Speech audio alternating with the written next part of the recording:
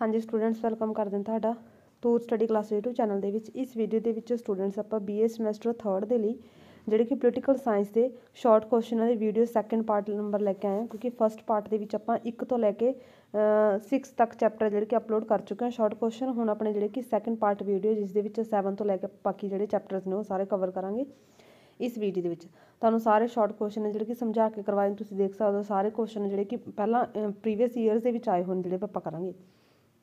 ਹਾਂਜੀ ਫਸਟ ਹੈ 7th chapter ਦੇ ਵਿੱਚੋਂ ਰਾਜਨੀਤੀ ਦੇ ਨਿਰਦੇਸ਼ਕ ਸਿਧਾਂਤਾਂ ਦਾ ਕੀ ਅਰਥ ਹੈ? ਹਾਂਜੀ, ਰਾਜਨੀਤੀ ਦੇ ਨਿਰਦੇਸ਼ਕ ਸਿਧਾਂਤ ਇੱਕ ਤਰ੍ਹਾਂ ਦੇ ਆਦਰਸ਼ ਜਾਂ ਸਿੱਖਿਆਵਾਂ ਨੇ ਜੋ ਹਰੇਕ ਸਰਕਾਰ ਲਈ ਮਾਰਗਦਰਸ਼ਕ ਦੇ ਤੌਰ ਤੇ ਕੰਮ ਕਰਦੇ ਨੇ। ਅਤੇ ਇਹ ਸਿਧਾਂਤ ਜਿਹੜੇ ਕਿ ਦੇਸ਼ ਦਾ ਪ੍ਰਸ਼ਾਸਨ ਚਲਾਉਣ ਦੇ ਲਈ ਵੀ ਆਧਾਰ ਦਾ ਕੰਮ ਕਰਦੇ ਨੇ। ਭਾਵ ਕਿ ਰਾਜਨੀਤੀ ਨਿਰਦੇਸ਼ਕ ਸਿਧਾਂਤ ਇੱਕ ਤਰ੍ਹਾਂ ਦੇ ਆਦਰਸ਼ਕ ਜਾਂ ਸਿੱਖਿਆਵਾਂ ਨੇ, ਜਿਹੜੇ ਕਿ ਹਰੇਕ ਦੇਸ਼ ਦੇ ਲਈ ਇੱਕ ਮਾਰਗਦਰਸ਼ਕ, ਇੱਕ ਰਾਹ ਦਿਖਾਉਣ ਵਾਲੇ ਜਿਹੜੇ ਕਿ ਦੇ ਤੌਰ ਤੇ ਕੰਮ ਕਰਦੇ ਨੇ। ਅਤੇ ਇਹ ਦੇਸ਼ ਦਾ ਪ੍ਰਸ਼ਾਸਨ ਚਲਾਉਣ ਦੇ ਵੀ ਲਈ ਆਧਾਰ ਦਾ ਕੰਮ ਕਰਦੇ ਨੇ। ਅਤੇ ਇਹਨਾਂ ਵਿੱਚ ਵਿਅਕਤੀ ਦੇ ਕੁਝ ਅਜਿਹੇ ਅਧਿਕਾਰ ਤੇ ਸ਼ਾਸਨ ਦੀਆਂ ਜਿਹੜੀਆਂ ਜ਼ਿੰਮੇਵਾਰੀ ਦਿੱਤੀਆਂ ਗਈਆਂ ਨੇ, ਜਿਨ੍ਹਾਂ ਨੂੰ ਲਾਗੂ ਕਰਨਾ ਰਾਜ ਦਾ ਕਰਤੱਵ ਮੰਨਿਆ ਜਾਂਦਾ।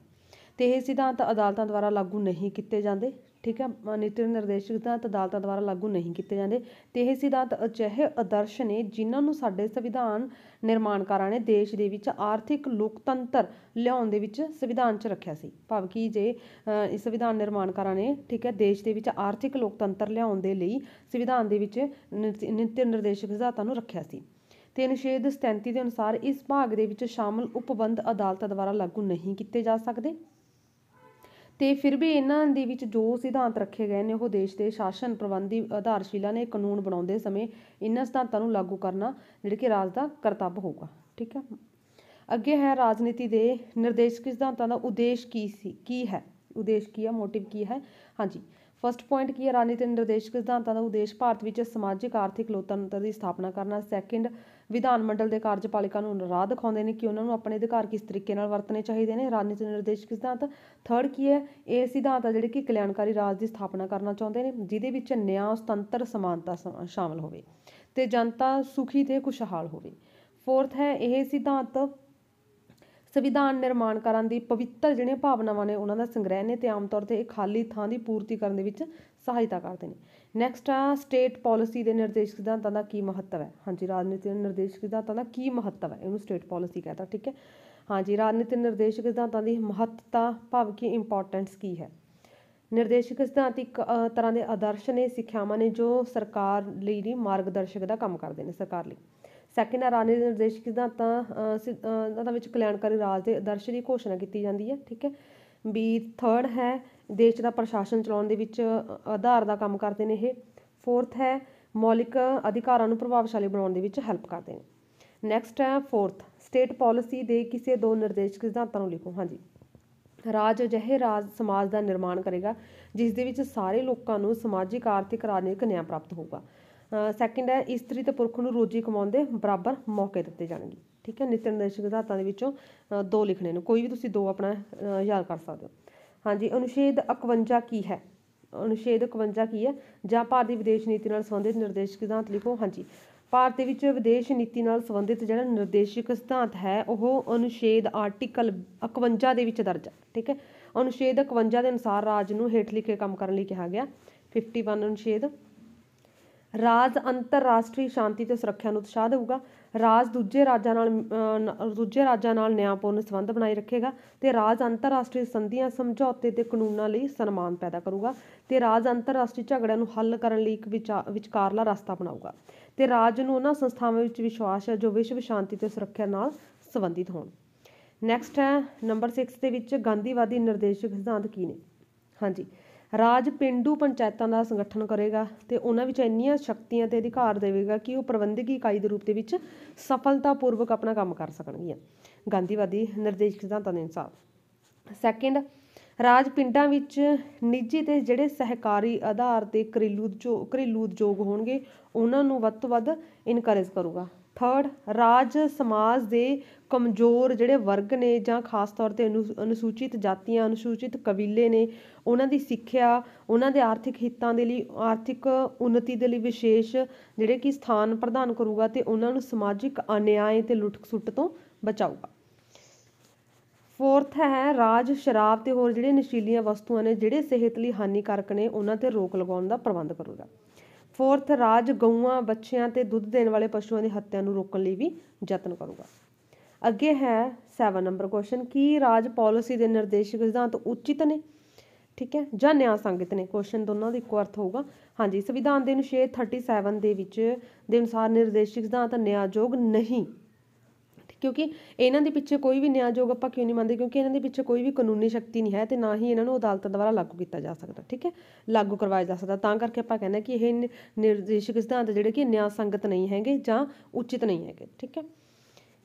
ਤੇ ਜੇ ਸਰਕਾਰ ਨਿਰਦੇਸ਼ਕ ਸਿਧਾਂਤਾਂ ਦੀ ਅਣਦੇਖੀ ਕਰਦੇ ਹੈ ਤਾਂ ਕੋਈ ਵੀ ਨਾਗਰਿਕ ਅਦਾਲਤਾਂ ਵਿੱਚ ਜਾ ਨਹੀਂ ਜਾ ਸਕਦਾ। ਭਾਵ ਕਿ ਜਿਵੇਂ ਮੌਲਿਕ ਅਧਿਕਾਰਾਂ ਦੇ ਪਿੱਛੇ ਜਿਹੜੇ ਕਿ ਉਹਨਾਂ ਨੂੰ ਇੱਕ ਸੁਰੱਖਿਆ ਹੈ ਕਿ ਅਗਰ ਕਿਸੇ ਦਾ ਵੀ ਮੌਲਿਕ ਅਧਿਕਾਰ ਦੀ ਉਲੰਘਣਾ ਹੋ ਰਹੀ ਹੈ ਤਾਂ ਉਹ ਅਦਾਲਤ ਦਾ ਦਰਵਾਜ਼ਾ ਖੜਕਾ ਸਕਦੇ ਨੇ, ਠੀਕ ਹੈ? ਫਿਰ ਸਰਕਾਰ ਆ ਜਿਹੜੇ ਕਿ ਅਦਾਲਤ ਆ ਜਿਹੜੀ ਕਿ ਉਸ ਕਾਨੂੰਨ ਨੂੰ, ਜਿਹੜੇ ਕਿ ਉਹਦੀ ਦੇਖ ਰੇਖ ਕਰਨ ਤੋਂ ਬਾਅਦ, ਉਹਦੀ ਇਨਵੈਸਟੀਗੇਸ਼ਨ ਕਰਨ ਤੋਂ ਬਾਅਦ ਅਗਰ ਉਹ ਸੱਚੀ ਜਿਹੜੇ ਕਿ ਮੌਲਿਕ ਅਧਿਕਾਰਾਂ ਦੇ ਵਿਰੁੱਧ ਹੋ ਜਾ, ਹੋ ਰਿਹਾ ਤਾਂ ਉਹਨੂੰ ਰੱਦ ਕਰਨ ਦਾ ਜਿਹੜੇ ਕਿ ਹੱਕ ਰੱਖਦੀ ਹੈ। ਬਟ ਨਿਰਦੇਸ਼ਕ ਸਿਧਾਂਤਾਂ ਦੇ ਵਿੱਚ ਨਹੀਂ ਆਵੇ ਅੱਗੇ ਹੈ ਨੰਬਰ 8 ਰਾਜਨੀਤੀ ਦੇ ਨਿਰਦੇਸ਼ਕ ਸਿਧਾਂਤਾਂ ਦੇ ਪਿੱਛੇ ਕਿਹੜੀ ਸ਼ਕਤੀ ਕੰਮ ਕਰ ਰਹੀ ਹੈ? ਹਾਂਜੀ, ਰਾਜਨੀਤੀ ਦੇ ਨਿਰਦੇਸ਼ਕ ਸਿਧਾਂਤਾਂ ਨੂੰ ਲਾਗੂ ਕਰਵਾਉਣ ਲਈ ਨਿਆਂਪਾਲਿਕਾ ਦੇ ਕੋਲ ਨਹੀਂ ਜਾਇਆ ਜਾ ਸਕਦਾ ਤੇ ਇਹਦੇ ਪਿੱਛੇ ਕੋਈ ਕਾਨੂੰਨੀ ਸ਼ਕਤੀ ਨਹੀਂ ਹੈਗੀ। ਵੀ ਕੋਈ ਵੀ ਆਪਾਂ ਕਾਨੂੰਨੀ ਸ਼ਕਤੀ ਦੀ ਵਰਤੋਂ ਨਹੀਂ ਕਰ ਸਕਦੇ ਇਹਦੇ ਲਈ। ਨਿਰਦੇਸ਼ਕ ਸਿਧਾਂਤਾਂ ਦੇ ਪਿੱਛੇ ਕਾਨੂੰਨੀ ਸ਼ਕਤੀ ਨਾ ਹੋ ਕੇ ਜਨਮਤ ਦੀ, ਜਨਮਤ ਭਾਵ ਕਿ ਲੋਕਾਂ ਦੀ ਪਾਵਰ ਹੈ। ਤੇ ਲੋਕਤੰਤਰ ਵਿੱਚ ਜਨਮਤ ਨਾਲੋਂ ਵੱਧ ਕੇ ਕੋਈ ਸ਼ਕਤੀ ਨਹੀਂ ਹੁੰਦੀ ਤੇ ਜਨਮਤ ਭਾਵ ਕਿ ਜਿਹੜੇ ਕਿ ਲੋਕ, ਠੀਕ ਹੈ, ਜਨਤਾ। ਦੀ ਸ਼ਕਤੀ, ਉਸ ਸ਼ਕਤੀ ਤੋਂ ਲੱਖ ਗੁਣਾ ਵੱਧ ਹੁੰਦੀ ਹੈ। ਜਿਹੜੀ ਜਿਹੜੀ ਸ਼ਕਤੀ ਪਿੱਛੇ ਕਾਨੂੰਨ ਹੁੰਦਾ, ਉਹਦੇ ਨਾਲੋਂ ਵੀ ਜਨਮਤ ਵਾਲੀ ਸ਼ਕਤੀ ਜਿਹੜੀ ਕਿ ਵੱਧ ਹੁੰਦੀ ਹੈ। ਕਿਉਂਕਿ ਇਹ ਸਿਧਾਂਤ ਕਲਿਆਣਕਾਰੀ ਰਾਜ ਦੀ ਸਥਾਪਨਾ ਕਰਦੇ ਨੇ, ਇਸ ਲਈ ਜਨਤਾ ਇਹਨਾਂ ਸਿਧਾਂਤਾਂ ਨੂੰ ਲਾਗੂ ਕਰਨ ਦੇ ਪੱਖ ਦੇ ਵਿੱਚ ਹੈ ਤੇ ਕੋਈ ਵੀ ਸਰਕਾਰ, ਚਾਹੇ ਜਨਤਾ ਦੀ ਇੱਛਾਵਾਂ ਦਾ ਉਲੰਘਣਾ ਨਹੀਂ ਕਰ ਸਕਦੀ, ਜੇ, ਜੇਕਰ ਕਰੇਗੀ ਤਾਂ ਉਹਨਾਂ ਦਾ ਵਿਸ਼ਵਾਸ ਹੈ ਜਿਹੜੇ ਕਿ ਉਹ ਗਵਾ ਬੈਠੂਗੀ। ਤਾਂ ਅਗਲੇ ਆਮ ਚੋਣਾਂ ਵਿੱਚ ਪਾਰਟੀ ਜਿਹੜੀ ਕਿ ਚੋਣ ਨਹੀਂ ਜਿੱਤ ਸਕਦੀ। ਅੱਗੇ ਹੈ ਸਮਾਜਵਾਦ ਦਾ ਕੀ ਅਰਥ ਹੈ? ਹਾਂਜੀ, ਸਮਾਜਵਾਦ ਸ਼ਾਸਨ ਪ੍ਰਣਾਲੀ ਦੀ ਉਸ ਅਵਸਥਾ ਨੂੰ ਕਿਹਾ ਜਾਂਦਾ, ਜਿਹਦੇ ਵਿੱਚ ਉਤਪਾਦਨ ਤੇ ਉਤਪਾਦਨ ਦੇ ਸਾਧਨਾਂ ਉੱਤੇ ਪੂਰਾ ਸਰਕਾਰ ਦਾ ਕੰਟਰੋਲ ਹੁੰਦਾ। ਭਾਵ ਕਿ ਜਿਹਦੇ ਵਿੱਚ ਉਤਪਾਦਨ ਤੇ ਉਤਪਾਦਨ ਦੇ ਜਿਹੜੇ ਸਾਧਨ ਨੇ, ਉਹਨਾਂ ਉੱਤੇ ਸਰਕਾਰਾਂ ਦਾ ਪੂਰਾ ਕੰਟਰੋਲ ਹੁੰਦਾ, ਉਹਨੂੰ ਕਹਿੰਦੇ ਨੇ ਸਮਾਜਵਾਦ। ਅੱਗੇ ਹੈ ਅਨੁਛੇਦ 44 ਕੀ ਹੈ? ਹਾਂਜੀ, ਅਨੁਛੇਦ 44 ਦੇ ਅਨੁਸਾਰ ਰਾਜ ਭਾਰਤ ਦੇ ਸਾਰੇ ਖੇਤਰਾਂ ਦੇ ਨਾਗਰਿਕਾਂ ਲਈ ਇੱਕ ਸਮਾਨ ਸਿਵਲ ਕੋਡ ਪ੍ਰਾਪਤ ਕਰਨ ਪ੍ਰਾਪਤ ਪ੍ਰਾਪਤ ਕਰਵਾਉਣ ਦੀ ਕੋਸ਼ਿਸ਼ ਕਰੂਗਾ ਭਾ- ਭਾਵ ਕਿ ਰਾਜ ਰਾਜ ਦੇ ਵਿੱਚ ਜਿਹੜੇ ਵੀ ਨਾਗਰਿਕ ਨੇ, ਸਾਰਿਆਂ ਲਈ ਇੱਕ ਸਮਾਨ ਸਿਵਲ ਕੋਡ ਪ੍ਰਾਪਤ ਕਰਵਾਉਣ ਦੀ ਜਿਹੜੀ ਕਿ ਕੋਸ਼ਿਸ਼ ਕਰੂਗਾ 44 ਦੇ ਦੀ ਅਨੁਛੇਦ। ਅੱਗੇ ਹੈ ਨੰਬਰ 11 ਰਾਜਨੀਤੀ ਨਿਰਦੇਸ਼ਕ ਅਤੇ ਮੌਲਿਕ ਅਧਿਕਾਰਾਂ ਵਿੱਚ ਅੰਤਰ ਕੀ ਹੈ? ਅੰਤਰ ਤਾਂ ਪਹਿਲਾਂ ਤਾਂ ਇਹੀ ਹੈ ਕਿ ਮੌਲਿਕ ਅਧਿਕਾਰ ਤਾਂ ਨਿਆਂਯੋਗ ਨੇ ਬਟ ਨਿਰਦੇਸ਼ਕ ਸਿਧਾਂਤ ਨਿਆਂਯੋਗ ਨਹੀਂ ਹੈਗੇ। ਮੌਲਿਕ ਅਧਿਕਾਰਾਂ ਨੂੰ ਅਦਾਲਤ ਰਾਹੀਂ ਲਾਗੂ ਕਰਵਾਇਆ ਜਾ ਸਕਦਾ ਬਟ ਨਿਰਦੇਸ਼ਕ ਸਿਧਾਂਤਾਂ ਨੂੰ ਨਹੀਂ। ਤੇ ਮੌਲਿਕ ਅਧਿਕਾਰਾਂ ਦਾ ਉਦੇਸ਼ ਰਾਜਨੀਤਿਕ ਲੋਕਤੰਤਰ ਹੈ, ਜਦਕਿ ਨਿਰਦੇਸ਼ਕ ਸਿਧਾਂਤਾਂ ਸਿਧਾਂਤਾਂ ਦਾ ਉਦੇਸ਼ ਆਰਥਿਕ ਲੋਕਤੰਤਰ ਹੈ। ਅੱਗੇ ਹੈ, ਅਨੁਛੇਦ 40 ਕੀ ਹੈ? ਹਾਂਜੀ, ਇਹ ਅਨੁਛੇਦ ਜ਼ਰੂਰ ਯਾਦ ਕਰਨੇ ਨੇ, ਕਿਉਂਕਿ ਪਾਰਟ 1 ਦੇ ਵਿੱਚ ਵੀ ਆਉਂਦੇ ਨੇ, ਤਾਂ ਇਹਨਾਂ ਤੇ ਵੀ ਸਿੱਧੇ ਸਿੱਧੇ ਕੁਐਸਚਨ ਪੁੱਛ ਲਏ ਜਾਂਦੇ ਨੇ। ਅਨੁਛੇਦ 40 40 ਦੇ ਅਨੁਸਾਰ ਰਾਜ ਪਿੰਡੂ ਪੰਚਾਇਤਾਂ ਸੰਗਠਨ ਕਰਨ ਲਈ ਯਤਨ ਕਰੇਗਾ। ਭਾਵ ਕਿ ਰਾਜ ਹੈ ਜਿਹੜੇ ਕਿ ਪਿੰਡੂ ਪੰਚਾਇਤਾਂ ਦਾ ਗਠਨ ਕਰਨ ਲਈ ਯਤਨ ਕਰੇਗਾ ਤੇ ਉਹਨਾਂ ਨੂੰ ਅਜਿਹੀਆਂ ਸ਼ਕਤੀਆਂ ਤੇ ਸੱਤਾ ਦੇਊਗਾ ਜੋ ਉਹਨਾਂ ਨੂੰ ਸਵੈ ਸ਼ਾਸਨ ਦੀਆਂ ਇਕਾਈਆਂ ਦੇ ਰੂਪ ਦੇ ਵਿੱਚ ਕੰਮ ਕਰਨ ਦੇ ਯੋਗ ਬਣਾਉਣਗੇ। ਭਾਵ ਕਿ ਉਹਨਾਂ ਨੂੰ ਇਹੋ ਜਿਹੀਆਂ ਪਾਵਰਸ ਦਿੱਤੀਆਂ ਜਾਣਗੀਆਂ ਸੱਤਾ ਦਊ ਦਿੱਤੀ ਜਾਊਗੀ ਤਾਂ ਕਿ ਉਹ ਜਿਹੜੇ ਕਿ ਸਵੈ ਸ਼ਾਸਨ ਦੀਆਂ ਇਕਾਈਆਂ ਦੇ ਰੂਪ ਦੇ ਵਿੱਚ ਜਿਹੜੇ ਕਿ ਆਪਣਾ ਕੰਮ ਕਰ ਸਕਣ। ਅੱਗੇ ਹੈ ਅ, 13 ਨੰਬਰ ਕੁਐਸਚਨ ਨਿਰਦੇਸ਼ਕ ਸਿਧਾਂਤਾਂ ਨੂੰ ਲਾਗੂ ਕਰਵਾਉਣ ਲਈ ਸਰਕਾਰ ਦੁਆਰਾ ਚੁੱਕੇ ਗਏ ਚਾਰ ਕਦਮ ਕਮਜ਼ੋਰ ਵਰਗਾਂ ਦੀ ਭਲਾਈ ਲਈ ਯਤਨ ਕਰਨਾ, ਠੀਕ ਹੈ? ਕਮਜ਼ੋਰ ਵਰਗ ਖਾਸ ਤੌਰ ਤੇ ਅਨੁਸੂਚਿਤ ਜਾਤੀਆਂ, ਪਛੜੀਆਂ, ਅਨੁਸੂਚਿਤ ਜਨਜਾਤੀਆਂ ਤੇ ਪਛੜੇ ਵਰਗਾਂ ਲਈ ਭਲਾਈ ਲਈ ਕਿ ਮਹੱਤਵਪੂਰਨ ਕਦਮ ਚੁੱਕੇ ਗਏ ਨੇ ਤੇ ਜ਼ਿਮੀਂਦਾਰੀ ਪ੍ਰਥਾ ਦੀ ਸਮਾਪਤੀ ਕਰਕੇ ਭੂਮੀ ਭੂਮੀ ਸੁਧਾਰ ਕੀਤਾ ਗਿਆ, ਠੀਕ ਹੈ? ਇਹ ਕਾਰਜ ਹੈ ਤੇ ਸੰਪਤੀ ਦੇ ਵਿਕੇਂਦਰੀਕਰਨ ਦੀ ਸਥਾਪਨਾ ਦਾ ਉਪਰਾਲਾ ਕੀਤਾ ਗਿਆ ਹੈ। ਨੈਕਸਟ ਹੈ ਪੰਜ ਸਾਲਾ ਯੋਜਨਾਵਾਂ, ਪੰਜ ਸਾਲਾ ਯੋਜਨਾਵਾਂ, ਠੀਕ ਹੈ? ਦੇ, ਨੇ ਦੇਸ਼ ਦੀ ਆਰਥਿਕ, ਸਮਾਜਿਕ ਉન્નਤੀ ਲਈ ਪੰਜ ਸਾਲਾ ਯੋਜਨਾਵਾਂ ਸ਼ੁਰੂ ਕੀਤੀਆਂ ਸੀ ਤੇ ਵੈਸੇ ਹੁਣ ਪੰਜ ਸਾਲਾ ਯੋਜਨਾ ਜਿਹੜੀ ਕਿ ਨਹੀਂ ਹੈਗੀ। ਹਾਂਜੀ, ਪੰਚਾਇਤੀ ਰਾਜ ਦੀ ਸਥਾਪਨਾ, ਠੀਕ ਹੈ। ਅੱਗੇ ਹੈ number, chapter number 8 chapter number 8 ਸੰਸਦ, ਪਾਰਲੀਮੈਂਟ। ਹਾਂਜੀ, ਰਾਜ ਸਭਾ ਦੀ ਰਚਨਾ ਸੰਵਿਧਾਨ ਦੇ ਅਨੁਛੇਦ ਰਾਜ ਸਭਾ ਦੇ ਮੈਂਬਰਾਂ ਦੀ ਸੰਖਿਆ, ਵੱਧ ਤੋਂ ਵੱਧ, ਰਾਜ ਸਭਾ ਦੇ ਮੈਂਬਰਾਂ ਦੀ ਸੰਖਿਆ ਵੱਧ ਤੋਂ ਵੱਧ 250 ਮਤਲਬ ਕਿ 250 ਜਿਨ੍ਹਾਂ ਦੇ ਵਿੱਚੋਂ 238 ਮੈਂਬਰ ਜਿਹੜੇ ਕਿ ਰਾਜਾਂ ਦੀ ਪ੍ਰਤੀਨਿਧਤਾ ਵਾਲੇ ਤੇ ਦੋ ਮੈਂਬਰ ਰਾਸ਼ਟਰਪਤੀ ਦੁਆਰਾ ਨਾਮਜ਼ਦ ਹੋਣਗੇ। ਮਤਲਬ ਕਿ 250 ਦੇ ਵਿੱਚੋਂ 238 ਮੈਂਬਰ ਤਾਂ 238 238 ਮੈਂਬਰ ਤਾਂ ਜਿਹੜੇ ਕਿ ਰਾਜਾਂ ਦੇ ਵਿੱਚੋਂ, ਠੀਕ ਹੈ, ਉਹਨਾਂ ਦੇ ਪ੍ਰਤੀਨਿਧ, ਰਾਜਾਂ ਦੇ ਪ੍ਰਤੀਨਿਧ ਹੋਣਗੇ ਤੇ 12 ਮੈਂਬਰ ਆ ਜਿਹੜੇ ਕਿ ਰਾਸ਼ਟਰਪਤੀ ਨਿਯੁਕਤ ਕਰਦਾ, ਠੀਕ ਹੈ, ਰਾਸ਼ਟਰਪਤੀ ਨਾਮਜ਼ਦ ਕਰਦਾ ਉਹਨਾਂ ਨੂੰ ਨੋਮੀਨੇਟ ਕਰਦਾ 12 ਨੂੰ। ਤਾਂ ਟੋਟਲ ਹੋ ਗਏ ਫਿਰ 250 ਹੁਣ ਰਾਸ਼ਟਰਪਤੀ ਨਾਮਜ਼ਦ ਕਿਹਨਾਂ ਨੂੰ ਕਰਦਾ? ਜਿਨ੍ਹਾਂ ਨੂੰ ਸਮਾਜ ਸੇਵਾ, ਕਲਾ ਵਿਗਿਆਨ, ਸਿੱਖਿਆ ਦੇ ਖੇਤਰ ਦੇ ਵਿੱਚ ਵਿਸ਼ੇਸ਼ ਪ੍ਰਸਿੱਧੀ ਪ੍ਰਾਪਤ ਹੋ ਚੁੱਕੀ ਹੈ। ਉਹਨਾਂ 12 ਜਣਿਆਂ ਨੂੰ ਜਿਹੜੇ ਕਿ ਰਾਸ਼ਟਰਪਤੀ ਨਾਮਜ਼ਦ ਕਰ ਸਕਦਾ। ਤੇ ਤੇ ਰਾਜ ਸਭਾ ਦੀ ਰਚਨਾ ਦੇ ਵਿੱਚ ਸੰਘ ਦੀਆਂ ਇਕਾਈਆਂ ਨੂੰ ਬਰਾਬਰ ਪ੍ਰਤੀਨਿਧਤਾ ਦੇਣ ਦਾ ਉਹ ਸਿਧਾਂਤ ਜੋ ਅਮਰੀਕਾ ਦੀ ਸੈਨੇਟ ਦੇ ਰਚਨਾ ਦੇ ਵਿੱਚ ਅਪਣਾਇਆ ਗਿਆ, ਭਾਰਤ ਦੇ ਵਿੱਚ ਨਹੀਂ ਅਪਣਾਇਆ ਗਿਆ, ਸਾਡੇ ਦੇਸ਼ ਦੇ ਵਿੱਚ ਵੱਖ-ਵੱਖ ਰਾਜਾਂ ਦੀ ਜਨਸੰਖਿਆ ਦੇ ਆਧਾਰ ਤੇ ਉਹਨਾਂ ਦੁਆਰਾ ਭੇਜੇ ਜਾਣ ਵਾਲੇ ਮੈਂਬਰਾਂ ਦੀ ਸੰਖਿਆ ਸੰਵਿਧਾਨ ਦੁਆਰਾ ਨਿਸ਼ਚਿਤ ਕੀਤੀ ਗਈ ਹੈ। ਉਦਾਹਰਨ ਦੇ ਤੌਰ ਤੇ, ਪੰਜਾਬ ਤੋਂ 7 ਮੈਂਬਰ, ਠੀਕ ਹੈ, ਹਰਿਆਣਾ ਤੋਂ 5 ਮੈਂਬਰ ਚੁਣ ਕੇ ਰਾਜ ਸਭਾ ਦੇ ਵਿੱਚ ਜਾਂਦੇ ਨੇ ਤੇ ਉੱਤਰ ਪ੍ਰਦੇਸ਼ ਦੇ 31 ਮੈਂਬਰ ਨੇ। ਨੈਕਸਟ ਹੈਗਾ ਅਗਲਾ ਕੁਐਸਚਨ ਲੋਕ ਸਭਾ ਦੀ ਬਣਤਰ। ਹਾਂਜੀ ਲੋਕ ਸਭਾ ਦੀ ਬਣਤਰ ਜਿਵੇਂ ਆਪਾਂ ਨੇ ਰਾਜ ਸਭਾ ਦੀ ਕੀਤੀ ਆ। ਆਰੰਭ ਦੇ ਵਿੱਚ ਲੋਕ ਸਭਾ ਦੇ ਮੈਂਬਰਾਂ ਦੀ ਸੰਖਿਆ ਵੱਧ ਤੋਂ ਵੱਧ ਜਿਹੜੇ ਕਿ 500 ਸੀ ਅਤੇ 31ਵੇਂ ਅ, ਸ਼ੋ- ਸੰਸ਼ੋਧਨ ਦੇ ਦੁਆਰਾ 31ਵੀਂ ਅਮੈਂਡਮੈਂਟ ਦੇ ਰਾਹੀਂ ਚੁਣੇ ਹੋਏ ਮੈਂਬਰਾਂ ਦੀ ਵੱਧ ਤੋਂ ਵੱਧ ਸੰਖਿਆ ਜਿਹੜੀ ਕਿ 545 ਨਿਸ਼ਚਿਤ ਕੀਤੀ ਗਈ ਹੈ। ਪਹਿਲਾਂ 500 ਸੀ ਫਿਰ 31ਵੇਂ ਸੰਸ਼ੋਧਨ ਦੁਆਰਾ 545 ਹੋ ਗਈ। ਗੋਆ, ਦਮਨ, ਦਿਊ, ਪੁਨਰਗਠਨ ਕਾਨੂੰਨ ਦੁਆਰਾ 1987 ਈਸਵੀ ਦੇ ਵਿੱਚ ਲੋਕ ਸਭਾ ਦੇ ਚੁਣੇ ਹੋਏ ਮੈਂਬਰਾਂ ਦੀ ਸੰਖਿਆ ਵੱਧ ਤੋਂ ਵੱਧ 550 ਨਿਸ਼ਚਿਤ ਕੀਤੀ ਗਈ ਹੈ। ਤੇ ਹੁਣ ਲੋਕ ਸਭਾ ਦੇ ਮੈਂਬਰਾਂ ਦੀ ਗਿਣਤੀ ਜਿਹੜੀ ਕਿ ਕੁੱਲ ਗਿਣਤੀ 552 ਤੇ 552 ਦੇ ਵਿੱਚ ਵੇਰਵਾ ਆਉਂਦਾ 550 ਮੈਂਬਰ।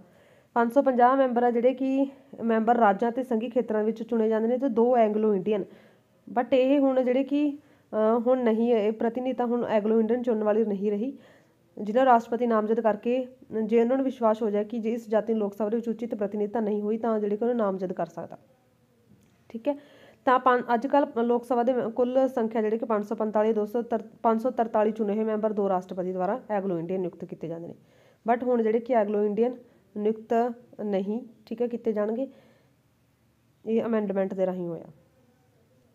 ਨੈਕਸਟ ਹੈ ਰਾਜ ਸਭਾ ਦੇ ਮੈਂਬਰ ਬਣਨ ਲਈ ਕੀ ਕੀ ਯੋਗਤਾ ਹੋਣੇ ਚਾਹੀਦੇ ਨੇ? ਭਾਰਤ ਦਾ ਨਾਗਰਿਕ ਹੋਣਾ ਚਾਹੀਦਾ 30 ਸਾਲ ਦੀ ਉਮਰ ਹੋਣੀ ਚਾਹੀਦੀ ਹੈ ਤੇ ਉਹ ਸੰਸਦ ਵੱਲੋਂ ਨਿਸ਼ਚਿਤ ਦੂਜੀਆਂ ਯੋਗਤਾਵਾਂ ਰੱਖਦਾ ਹੋਵੇ ਉਹ ਪਾਗਲ ਜਾਂ ਦੀਵਾਲੀਆ ਨਾ ਹੋਵੇ। ਅੱਗੇ ਭਾਰਤੀ ਪਾਰਲੀਮੈਂਟ ਦੀ ਬਣਤਰ। ਹਾਂਜੀ। ਭਾਰਤੀ ਪਾਰਲੀਮੈਂਟ ਦੇ ਪਾਰਲੀਮੈਂਟ ਦੇ ਵਿੱਚ ਸੰਸਦ ਦੇ ਦੋ ਸਦਨ ਨੇ ਲੋਕ ਸਭਾ ਤੇ ਰਾਜ ਸਭਾ।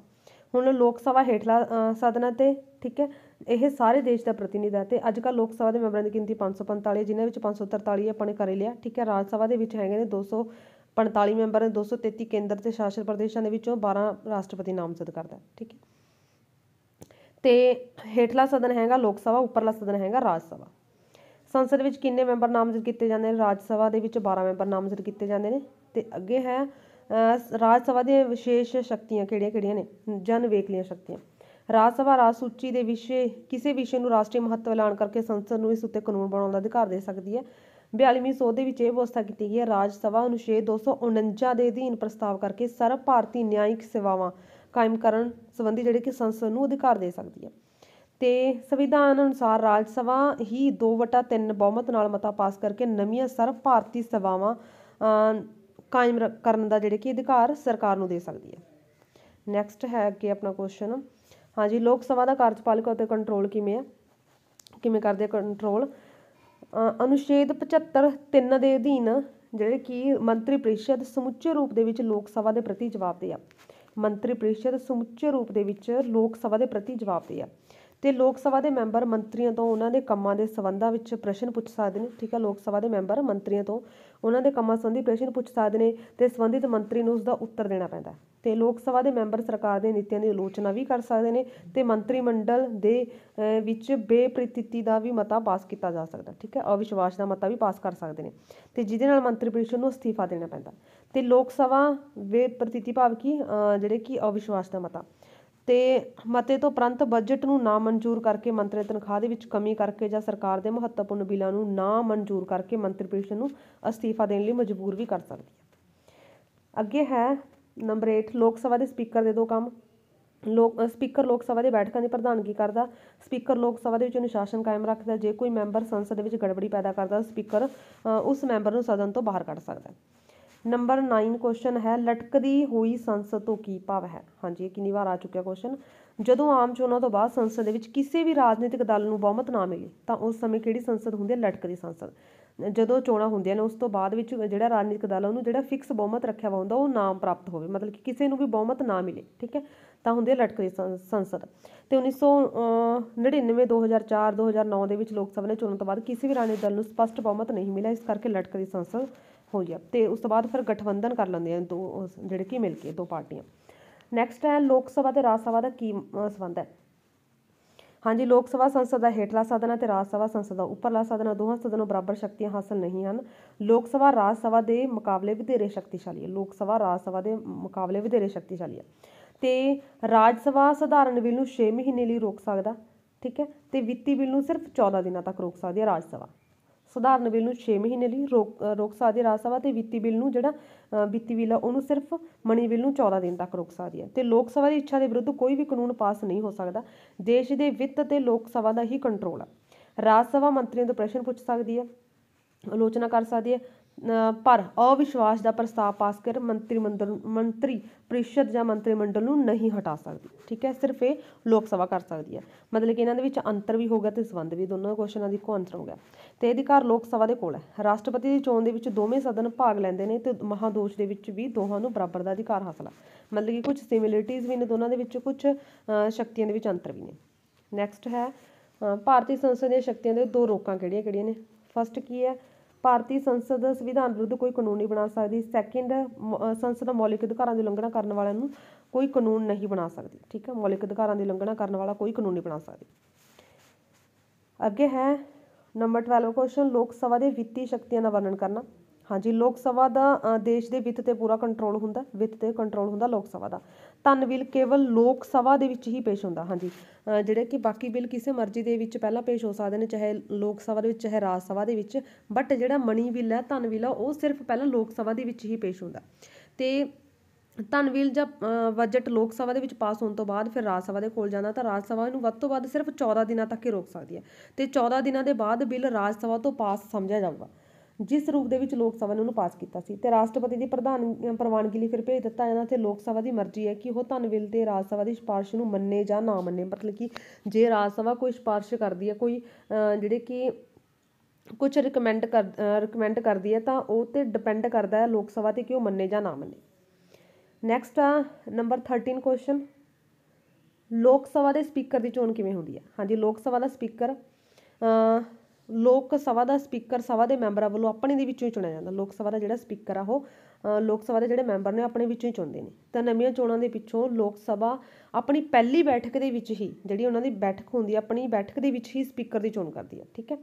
ਤੇ ਡਿਪਟੀ ਸਪੀਕਰ ਦੀ ਚੋਣ ਵੀ ਉਸੇ ਵੇਲੇ ਹੁੰਦੀ ਹੈ ਜਿਹੜਾ ਡਿਪਟੀ ਸਪੀਕਰ ਹੁੰਦਾ ਉਹ ਵੀ ਉਸੇ ਵੇਲੇ ਚੁਣਿਆ ਜਾਂਦਾ। ਤੇ ਸੰਵਿਧਾਨ ਦੀ ਧਾਰਾ 93 ਦੇ ਵਿੱਚ ਲਿਖਿਆ ਗਿਆ ਕਿ ਲੋਕ ਸਭਾ ਜਲਦੀ ਤੋਂ ਜਲਦੀ ਆਪਣਾ ਇੱਕ ਸਭਾਪਤੀ ਤੇ ਇੱਕ ਉਪ ਸਭਾਪਤੀ ਚੁਣੇਗੀ। ਠੀਕ ਹੈ? ਮਤਲਬ ਕਿ ਆਪਾਂ ਕਹਿ ਸਕਦੇ ਕਿ ਲੋਕ ਹਾਂ ਸਪੀਕਰ ਨਾਲ ਸੰਬੰਧਿਤ ਜਿਹੜਾ ਆਰਟੀਕਲ ਉਹ 93 ਹੈ ਤੇ ਵਿਵਹਾਰਿਕ ਰੂਪ ਦੇ ਵਿੱਚ ਪ੍ਰਧਾਨ ਮੰਤਰੀ ਲੋਕ ਸਭਾ ਦੇ ਸਭਾਪਤੀ ਤੇ ਉਪ ਸਭਾਪਤੀ ਦੇ ਸਬੰਧ ਦੇ ਰੂਪ ਵਿੱਚ ਵਿਰੋਧੀ ਪਾਰਟੀਆਂ ਦੇ ਨੇਤਾਵਾਂ ਨਾਲ ਸਲਾਹ ਕਰਕੇ ਨਿਰਣਾ ਕਰਦਾ ਕਿ ਕਿਸ ਵਿਅਕਤੀ ਦਾ ਨਾਂ ਸਦਨ ਦੇ ਵਿੱਚ ਸਪੀਕਰ ਤੇ ਕਿਸੇ ਦਾ ਨਾਂ ਡਿਪਟੀ ਸਪੀਕਰ ਦੇ ਲਈ ਰੱਖਿਆ ਜਾਊਗਾ।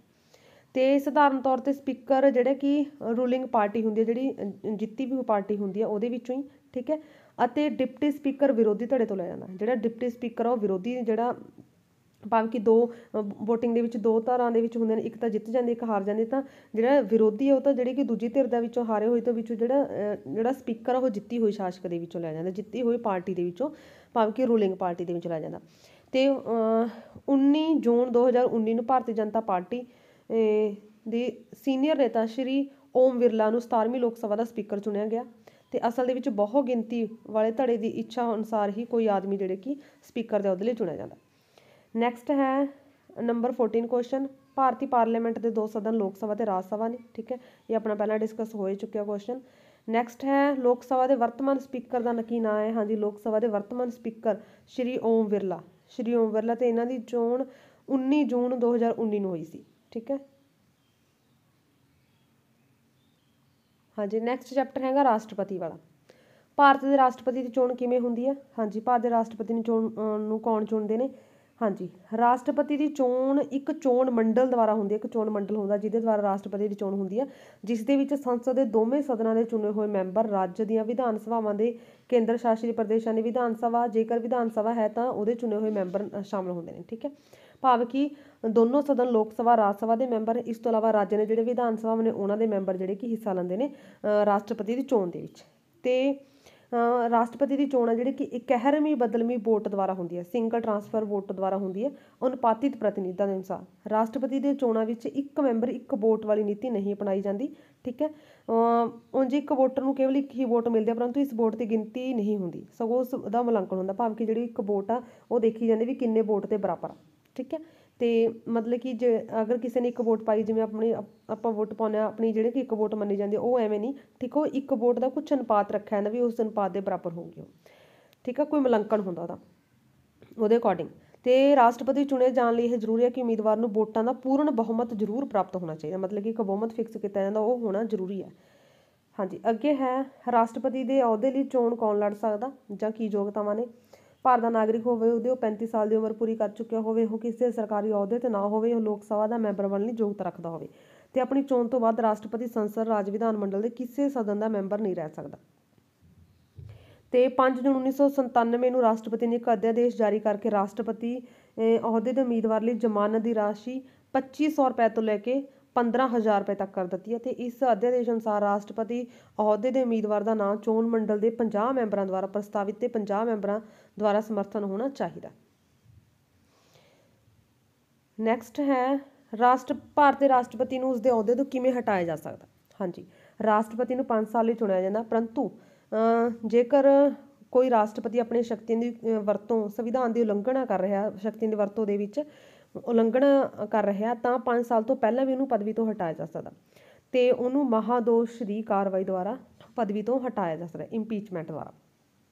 ਤੇ ਇੱਕ ਸਦਨ ਅ, ਰਾਸ਼ਟਰਪਤੀ ਦੇ ਵਿਰੁੱਧ ਦੋਸ਼ ਲਗਾਉਂਦਾ ਤਾਂ ਦੂਸ- ਦੂਸਰਾ ਪ੍ਰਸਤਾਵ ਅਤੇ ਸਦਨ ਦੇ ਵਿੱਚ, ਦੂਸ਼ਣ ਪ੍ਰਸਤਾਵ ਅਤੇ ਸਦਨ ਦੇ ਵਿੱਚ ਉਸੇ ਸਮੇਂ ਵਿਚਾਰ ਹੋ ਸਕਦਾ ਅਤੇ ਜਦੋਂ ਸਦਨ ਦੇ 1/4 ਮੈਂਬਰ ਦਸਤਖਤ ਦੁਆਰਾ ਇਸ ਉਦੇਸ਼ ਦਾ ਨੋਟਿਸ ਘੱਟ ਤੋਂ ਘੱਟ 14 ਦਿਨ ਤੋਂ ਪਹਿਲਾਂ ਦਿੱਤਾ ਜਾ ਚੁੱਕਿਆ ਹੋਵੇ, ਜੇਕਰ ਇੱਕ ਸਦਨ ਦੇ ਵਿੱਚ ਪ੍ਰਸਤਾਵ ਦੋ ਵਟਾ ਤਿੰਨ ਨਾਲ ਪਾਸ ਹੋ ਜਾਵੇ, ਤਾਂ ਦੂਜਾ ਸਦਨ ਉਸ ਦੀ ਦੋਸ਼ਾਂ ਦੀ ਜਾਂਚ ਕਰਦਾ ਹੈ।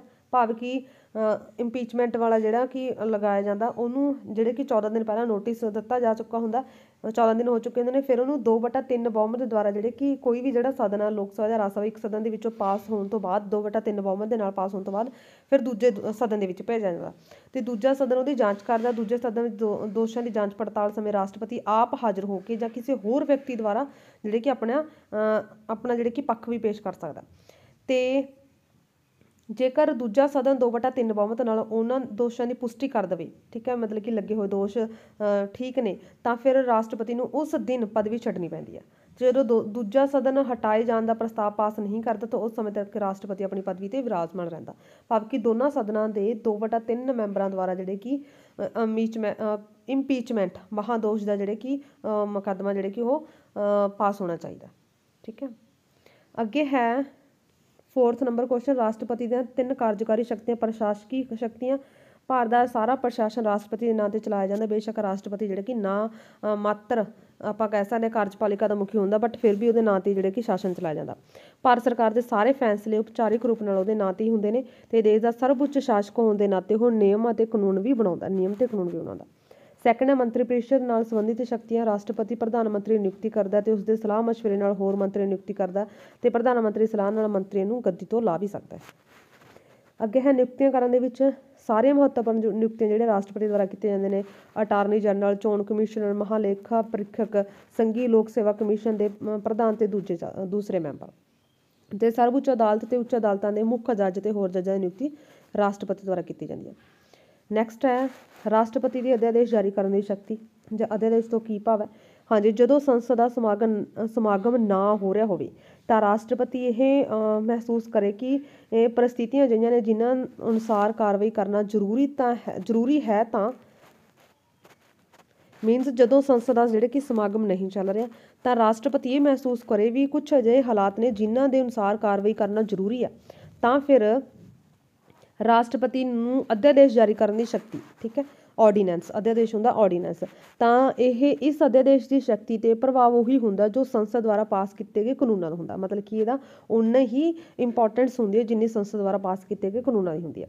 ਤੇ ਸੰਸਦ ਦਾ ਸਮਾਗਮ ਆਰੰਭ ਆਰੰਭ ਜਦੋਂ ਹੋ ਜਾਂਦਾ, ਫਿਰ ਉਹਦੇ ਸਾਹਮਣੇ ਹੀ ਅਧਿਆਦੇਸ਼ ਨੂੰ ਰੱਖਣਾ ਜਿਹੜੇ ਕਿ ਜ਼ਰੂਰੀ ਹੋ ਜਾਂਦਾ ਤੇ ਸਮਾਗਮ ਆਰੰਭ ਹੋਣ ਦੀ ਸਥਿਤੀ ਤੋਂ ਲੈ ਕੇ 6 ਹਫ਼ਤੇ ਦੇ ਬਾਅਦ ਤੱਕ ਦਾ ਉਹ ਅਧਿਆਦੇਸ਼ ਜਾਰੀ ਰਹਿ ਸਕਦਾ ਤੇ 6 ਹਫ਼ਤੇ ਮਗਰੋਂ ਜਿਹੜੇ ਕਿ ਅਧਿਆਦੇਸ਼ ਖਤਮ ਹੋ ਜਾਏਗਾ ਭਾਵੇਂ ਕਿ ਉਸ ਤੋਂ ਬਾਅਦ ਜੇ ਸਮਾਗਮ ਸ਼ੁਰੂ ਹੋ ਜਾਣਾ ਤਾਂ 6 ਹਫ਼ਤੇ ਤੱਕ ਇਹ ਸਮ- ਜਿਹੜੇ ਕਿ ਅਧਿਆਦੇਸ਼ ਰਹਿੰਦਾ ਬਾਅਦ ਦੇ ਵਿੱਚ ਇਹ ਖਤਮ ਹੋ ਜਾਂਦਾ। ਤੇ ਇਸ ਤੋਂ ਪਹਿਲਾਂ ਸੰਸਦ ਅਧਿਆਦੇਸ਼ ਨੂੰ ਰੱਦ ਕਰ ਸਕਦੀ ਹੈ ਮਤਲਬ ਕਿ ਜੇ ਸੰਸਦ ਚਾਹੇ ਤਾਂ ਇਸ ਨੂੰ ਰੱਦ ਵੀ ਕਰ ਸਕਦੀ ਹੈ ਤੇ ਰਾਸ਼ਟਰਪਤੀ ਜਦੋਂ ਚਾਹੇ ਉਹਨੂੰ ਵਾਪਸ ਵੀ ਲੈ ਸਕਦਾ। ਤੇ ਰਾਸ਼ਟਰਪਤੀ ਨੂੰ ਅਧਿਆਦੇਸ਼ ਜਾਰੀ ਕਰਨ ਦਾ ਪੂਰਾ ਅਧਿਕਾਰ ਹੈ ਤੇ ਉਸ ਉੱਤੇ ਇਸ ਨਿਰਣੇ ਨੂੰ ਕਿਸੇ ਅਦਾਲਤ ਦੇ ਵਿੱਚ ਚੁਣੌਤੀ ਨਹੀਂ ਦਿੱਤੀ ਜਾ ਸਕਦੀ। ਅੱਗੇ ਹੈ ਨੰਬਰ 6 ਕਿਹੜੀਆਂ ਹਾਲਾਤਾਂ ਦੇ ਵਿੱਚ ਰਾਸ਼ਟਰਪਤੀ ਮੰਤਰੀ ਮੰਡਲ ਦੀ ਸਲਾਹ ਮੰਨਣ ਤੋਂ ਇਨਕਾਰ ਕਰ ਸਕਦਾ? ਕਿ ਜਾਂ ਕੀ ਰਾਸ਼ਟਰਪਤੀ ਮੰਤਰੀ ਮੰਡਲ ਦੀ ਸਲਾਹ ਬੰਧਨਕਾਰੀ ਹੈ? ਹਾਂਜੀ। 44 ਜਿਹੜੀ ਤਰਮੀਮ ਹੋਈ ਸੀ ਅਮੈਂਡਮੈਂਟ ਹੋਈ ਸੀ ਇਹਦੇ ਅਨੁਸਾਰ ਰਾਸ਼ਟਰਪਤੀ ਨੂੰ ਮੰਤਰੀ ਮੰਡਲ ਰਾਹੀਂ ਜੋ ਸਲਾਹ ਦਿੱਤੀ ਜਾਂਦੀ ਹੈ ਰਾਸ਼ਟਰਪਤੀ ਮੰਤਰੀ ਮੰਡਲ ਨੂੰ ਉਸ ਉੱਤੇ ਵਿਚਾਰ ਕਰਨ ਲਈ ਕਹਿ ਸਕਦਾ। ਬਟ ਮੁੜ ਵਿਚਾਰ ਕਰਨ ਮਗਰੋਂ ਮੰਤਰੀ ਮੰਡਲ ਜੋ ਸਲਾਹ ਰਾਸ਼ਟਰਪਤੀ ਨੂੰ ਦਿੰਦਾ ਉਹ ਸਲਾਹ ਮੰਨਣੀ ਪਊਗੀ ਠੀਕ ਹੈ? ਉਹ ਸਲਾਹ ਨੂੰ ਮੰਨਣੀ ਪਊਗੀ ਰਾਸ਼ਟਰਪਤੀ ਨੂੰ। ਤੇ ਰਾਸ਼ਟਰਪਤੀ ਨੂੰ ਮੰਤਰੀ ਪ੍ਰੀਸ਼ਦ ਨੂੰ ਸਲਾਹ ਚੇਤਾਵਨੀ ਤੇ ਉਤਸ਼ਾਹ ਦੇਣ ਦਾ ਅਧਿਕਾਰ ਹਾਸਲ ਹੈ। ਅ, ਤੇ ਪਦ ਧਾਰਨ ਕਰਦੇ ਸਮੇਂ ਰਾਸ਼ਟਰਪਤੀ ਨੂੰ ਸਹੁੰ ਚੁੱਕਣੀ ਪੈਂਦੀ ਹੈ ਕਿ ਉਹ ਸੰਵਿਧਾਨ ਦੀ ਰਾਖੀ ਕਰੇਗਾ। ਇਸ ਲਈ ਮੰ- ਉਹ ਮੰਤਰੀ ਪਰਿਸ਼ਦ ਦੀ ਕੋਈ ਜਹੀ ਗੱਲ ਮੰਨਣ ਦਾ ਪਾਬੰਦ ਨਹੀਂ, ਜਿਹੜੀ ਸੰਵਿਧਾਨ ਦੀ ਰਾਖੀ ਦੇ ਵਿੱਚ ਰੁਕਾਵਟ ਪਾਉਂਦੀ ਹੋਵੇ। ਇਸ ਤਰ੍ਹਾਂ ਲੋਕ ਸਭਾ ਨੂੰ ਭੰਗ ਕਰਨਾ ਅਜਿਹੇ ਪ੍ਰਧ- ਅਹ ਤੇ ਅਜਿਹੇ ਪ੍ਰਧਾਨ ਮੰਤਰੀ ਦੇ ਮੰਤਰੀ ਮੰਡਲ ਜਿਹੜਾ ਬਹੁਮਤ ਦਾ ਸਮਰਥਨ ਗਵਾ ਬੈਠਦਾ, ਉਹਨੂੰ ਬਰਖਾਸਤ ਕਰਨ ਦੇ ਵਿੱਚ ਰਾਸ਼ਟਰਪਤੀ ਆਪਣੀ ਵਿਵੇਕ ਸ਼ਕਤੀ ਤੋਂ ਵੀ ਕੰਮ ਲੈ ਸਕਦਾ। ਠੀਕ ਹੈ? ਨੈਕਸਟ ਹੈ ਨੰਬਰ 7 ਨੰਬਰ ਕੁਐਸਚਨ ਕਿਹੜੀਆਂ ਹਾਲਾਤਾਂ ਦੇ ਵਿੱਚ ਰਾਸ਼ਟਰਪਤੀ ਆਪਣੀ ਮਰਜ਼ੀ ਨਾਲ ਪ੍ਰਧਾਨ ਮੰਤਰੀ ਨਿਯੁਕਤੀ ਕਰ ਸਕਦਾ? ਹਾਂਜੀ। ਜਦੋਂ ਕਿਸੇ ਵੀ ਸਿਆਸੀ ਪਾਰਟੀ ਨੂੰ ਸਪਸ਼ਟ ਬਹੁਮਤ ਨਾ ਮਿਲੇ, ਜਾਂ ਕੁਝ ਦਲ ਮਿਲ ਕੇ ਸੰਯੁਕਤ ਸਰਕਾਰ ਹੈ ਜਿਹੜੇ ਕਿ ਨਿਰਮਾਣ ਕਰ ਲੈਣ, ਜਾਂ ਲੋਕ ਸਭਾ ਵਿੱਚ ਦੋ ਦਲਾਂ ਨੂੰ ਬਰਾਬਰ ਪ੍ਰਤੀਨਿਧਤਾ ਹੋਵੇ, ਤਾਂ ਹਾਂ, ਰਾਸ਼ਟਰਪਤੀ ਜਿਹੜੇ ਕਿ ਆਪਣੀ ਵਿਵੇਕ, ਬੁੱਧੀ ਤੇ ਉਚੇਰੀ ਸੂਝ-ਬੂਝ ਤੋਂ ਕੰਮ ਲੈਂਦਾ ਹੋਇਆ ਆਪਣੀ ਮਰਜ਼ੀ ਨਾਲ ਕਿਸੇ ਵੀ ਦਲ ਦੇ ਆਗੂ ਨੂੰ ਜਿਹੜੇ ਕਿ ਪ੍ਰਧਾਨ ਮੰਤਰੀ ਚੁਣ ਸਕਦਾ। ਤੇ ਨੈਕਸਟ ਹੈ ਨੰਬਰ 8 ਸੰਵਿਧਾਨ ਦੇ ਅਨੁਛੇਦ ਅਹ, 356 ਹਾਂਜੀ। 356 ਦੀ ਵਿਵਸਥਾ ਕੀ ਹੈ? ਹਾਂਜੀ ਜਦੋਂ ਰਾਸ਼ਟਰਪਤੀ ਨੂੰ ਰਾਜਪਾਲ ਵੱਲੋਂ ਦਿੱਤੀ ਗਈ ਸੂਚਨਾ ਅਨੁਸਾਰ ਸੂਚਨਾ ਦੇ ਨਾਲ ਕਿਸੇ ਹੋਰ ਸਮੇਂ ਨਾਲ ਇਹ ਵਿਸ਼ਵਾਸ ਹੋ ਜਾਵੇ ਕਿ ਰਾਜ ਦਾ ਸ਼ਾਸਨ ਜਿਹੜਾ ਕਿ ਸੰਵਿਧਾਨ ਅਨੁਸਾਰ ਨਹੀਂ ਚਲਾਇਆ ਜਾ ਰਿਹਾ ਵੀ ਰਾਜ ਦਾ ਅਹ, ਜਿਹੜੇ ਕਿ ਸ਼ਾਸਨ ਆ, ਉਹ ਸੰਵਿਧਾਨ ਅਨੁਸਾਰ ਨਹੀਂ ਚਲਾਇਆ ਜਾ ਸਕਦਾ, ਤਾਂ ਉਹ ਅਨੁਛੇਦ 356 ਦੇ ਅਧੀਨ ਸੰਕਟ ਕਾਲ ਦਾ ਐਲਾਨ ਕਰ ਸਕਦਾ। ਮਤਲਬ ਕਿ ਜਦੋਂ ਰਾਸ਼ਟਰਪਤੀ ਨੂੰ ਰਾਜਪਾਲ ਵੱਲੋਂ ਸੂਚਨਾ ਦਿੱਤੀ ਗਈ ਹੋਵੇ ਜਾਂ ਜਿਹੜਾ ਕਿ ਕਿਸੇ ਹੋਰ ਸਮੇਂ ਦੇ ਨਾਲ ਇਹ ਵਿਸ਼ਵਾਸ ਹੋ ਜਾਵੇ ਕਿ ਰਾਜ ਦਾ ਸ਼ਾਸਨ ਹੈ ਜਿਹੜਾ ਕਿ ਸੰਵਿਧਾਨ ਅਨੁਸਾਰ ਨਹੀਂ ਚਲਾਇਆ ਜਾ ਸਕਦਾ, ਠੀਕ ਹੈ, ਤਾਂ ਫਿਰ 356 ਦੇ ਅਧੀਨ ਸੰਕਟ ਕਾਲ ਦਾ ਐਲਾਨ ਕਰ ਸਕਦਾ ਰਾਸ਼ਟਰਪਤੀ। ਤੇ ਰਾਸ਼ਟਰਪਤੀ ਰਾਜ ਦੇ ਮੰਤਰੀ ਮੰਡਲ ਤੇ ਵਿਧਾਨ ਸਭਾ ਨੂੰ ਭੰਗ ਕਰਕੇ ਰਾਜ ਦਾ ਪ੍ਰਸ਼ਾਸਨ ਆਪਣੇ ਹੱਥਾਂ ਵਿੱਚ ਲੈ ਸਕਦਾ। ਅੱਗੇ ਹੈ ਨੰਬਰ 9 ਕੁਐਸਚਨ ਕੀ ਰਾਸ਼ਟਰਪਤੀ ਆਰਥਿਕ ਸੰਕਟ ਕਾਲ ਦੀ ਘੋਸ਼ਣਾ ਕਰ ਸਕਦਾ? ਹਾਂ, ਹਾਂਜੀ, ਜੇ ਰਾਸ਼ਟਰਪਤੀ ਨੂੰ ਯਕੀਨ ਹੋ ਜਾਵੇ ਕਿ ਦੇਸ਼ ਦੀ ਆਰਥਿਕ ਸਥਿਤੀ ਡਾਵਾਡੋਲ ਹੈ, ਤਾਂ ਭਾਰਤ ਦੀ ਸ਼ਾਖਾ ਖਤਰੇ ਦੇ ਵਿੱਚ ਹੈ, ਤਾਂ ਉਹ ਸੰਕਟ ਕਾਲ ਦਾ ਐਲਾਨ ਕਰ ਸਕਦਾ। ਤੇ ਜਿਹੇ ਸਮੇਂ ਰਾਸ਼ਟਰਪਤੀ ਸਾਰੇ ਕਰਮਚਾਰੀਆਂ ਦੀ ਤਨਖਾਹ ਭੱਤੇ ਨੂੰ ਘਟਾ ਸਕਦਾ ਤੇ ਉਹ ਰਾਜ ਦੀ ਧਨ ਸੰਬੰਧੀ ਕੋਈ ਵੀ ਹੁਕਮ ਦੇ ਸਕਦਾ। ਤੇ ਇਹ ਆਰਟੀਕਲ 360 ਦੇ ਅਧੀਨ ਹੈ। ਅੱਗੇ ਹੈ ਵਿੱਤੀ ਸੰਕਟ ਵਾਲਾ, ਠੀਕ ਹੈ? ਆਰਥਿਕ ਸੰਕਟ ਵਾਲੀ, ਠੀਕ ਹੈ, ਸ਼ਕਤੀ। ਅੱਗੇ ਹੈ ਨੰਬਰ 10 ਕੁਐਸਚਨ ਰਾਸ਼ਟਰਪਤੀ ਰਾਸ਼ਟਰੀ ਸੰਕਟ ਕਾਲ ਦੀ ਘੋਸ਼ਣਾ ਕਦੋਂ ਕਰ ਸਕਦਾ? ਤਾਂ ਇਸ ਦਾ ਕੀ ਪ੍ਰਭਾਵ ਪੈਂਦਾ? ਹਾਂਜੀ, ਰਾਸ਼ਟਰੀ ਸੰਕਟ ਦੀ ਘੋਸ਼ਣਾ ਜਦੋਂ ਯੁੱਧ ਵਿਦੇਸ਼ੀ ਹਮਲੇ ਜਾਂ ਸ਼ਾਸਤਰ ਵਿਦਰੋਹ ਨਾਲ ਉਤਪੰਨ ਜਦੋਂ ਸੰਕਟ ਹੋ ਰਿਹਾ, ਜਦੋਂ ਕਰ ਸਕਦਾ? ਜਾਂ ਦੇਸ਼ ਵਿੱਚ ਆਰਥਿਕ ਜਾਂ ਵਿੱਤੀ ਸੰਕਟ ਹੋ ਰਿਹਾ ਹੋਵੇ ਤਾਂ? ਤੇ ਘੋਸ਼ਣਾ ਦੇ ਪ੍ਰਭਾਵ ਕੀ ਨੇ? ਕਿ ਕੇਂਦਰੀ ਸਰਕਾਰ ਰਾਜਾਂ ਦੀਆਂ ਸਰਕਾਰਾਂ ਨੂੰ ਨਿਰਦੇਸ਼ ਦੇ ਸਕਦੀ ਹੈ ਕਿ ਉਹ ਆਪਣੀਆਂ ਕਾਰਜਪਾਲਿਕ ਸ਼ਕਤੀਆਂ ਦਾ ਪ੍ਰਯੋਗ ਕਿਸ ਤਰ੍ਹਾਂ ਕਰਨ? ਤੇ ਰਾਜ ਦੇ, ਰਾਜਾਂ ਦੇ ਰਾਜਪਾਲ, ਰਾਸ਼ਟਰਪਤੀ ਦੇ ਨਿਰਦੇਸ਼ ਅਨੁਸਾਰ ਆਪਣੇ ਕਾਰਜਕਾਰੀ ਸ਼ਕਤੀਆਂ ਦਾ ਪ੍ਰਯੋਗ ਕਰਦੇ ਨੇ। ਤੇ ਸੈਕਿੰਡ ਹੈ, ਸੰਸਦ ਨੂੰ ਰਾਜ ਦੀ ਸੂਚੀ ਦੇ ਵਿੱਚ ਦਿੱਤੇ ਗਏ ਵਿਸ਼ਿਆਂ ਦੇ ਕਾਨੂੰਨ ਬਣਾਉਣ ਦਾ ਅਧਿਕਾਰ ਮਿਲ ਜਾਂਦਾ। ਨੰਬਰ 11 ਕੀ ਰਾਸ਼ਟਰਪਤੀ ਸੰਕਟਕਾਲੀਨ ਸ਼ਕਤੀਆਂ ਦਾ ਪ੍ਰਯੋਗ ਕਰਕੇ ਤਾਨਾਸ਼ਾਹ ਬਣ ਸਕਦਾ ਹੈ? ਜਾਂ ਕੀ ਰਾਸ਼ਟਰਪਤੀ ਤਾਨਾਸ਼ਾਹ ਬਣ ਸਕਦਾ ਹੈ? ਹਾਂਜੀ, ਇਹਦਾ ਆਨਸਰ ਕੀ ਹੈ? ਰਾਸ਼ਟਰਪਤੀ ਸੰਕਟ ਕਾਲ ਦੇ ਸ਼ਕਤੀਆਂ ਦਾ ਪ੍ਰਯੋਗ ਕਰਕੇ ਤਾਨਾਸਾਨ ਨਹੀਂ ਬਣ ਸਕਦਾ, ਉਸਦੇ ਕਾਲ ਸ਼ਕਤੀ ਦੇ ਕਈ ਰੋਕਾਂ ਨੇ। ਜਿਵੇਂ ਕਿ ਰਾਸ਼ਟਰਪਤੀ ਸੰਕਟ ਕਾਲ ਦੀ ਘੋਸ਼ਣਾ ਮੰਤਰੀ ਮੰਡਲ ਦੀ ਸਲਾਹ ਨਾਲ ਹੀ ਕਰ ਸਕਦਾ, ਠੀਕ ਹੈ? ਮਤਲਬ ਕਿ ਜੇ ਸੰਕਟ ਕਾਲ ਦੀ ਘੋਸ਼ਣਾ ਕਰਨੀ ਹੈ ਤਾਂ ਮੰਤਰੀ ਮੰਡਲ ਦੀ ਸਲਾਹ ਦੇ ਨਾਲ ਹੀ ਕਰ ਸਕਦਾ। ਤੇ ਭਾਰਤ ਦੇ ਵਿੱਚ ਸੰਸਦੀ ਸ਼ਾਸਨ ਪ੍ਰਣਾਲੀ ਹੋਣ ਦੇ ਕਾਰਨ ਰਾਸ਼ਟਰਪਤੀ ਨਾ ਮਾਤਰ ਕਾਰਜਪਾਲਿਕਾ ਦਾ ਮੁਖੀ ਹੁੰਦਾ ਠੀਕ ਹੈ? ਤੇ 44 ਅਮੈਂਡਮੈਂਟ ਦੇ ਅਨੁਸਾਰ ਰਾਸ਼ਟਰਪਤੀ ਸੰਕਟ ਕਾਲ ਦੀ ਘੋਸ਼ਣਾ ਤਾਂ ਹੀ ਕਰ ਸਕਦਾ, ਜੇਕਰ ਮੰਤਰੀ ਮੰਡਲ ਸੰਕਟ ਕਾਲੀ ਘੋਸ਼ਣਾ ਦੀ ਲਿਖਤੀ ਇਹ ਸਲਾਹ ਦੇਵੇ, ਠੀਕ ਹੈ ਰਿਟਨ ਦੇ ਵਿੱਚ ਦੇਵੇ।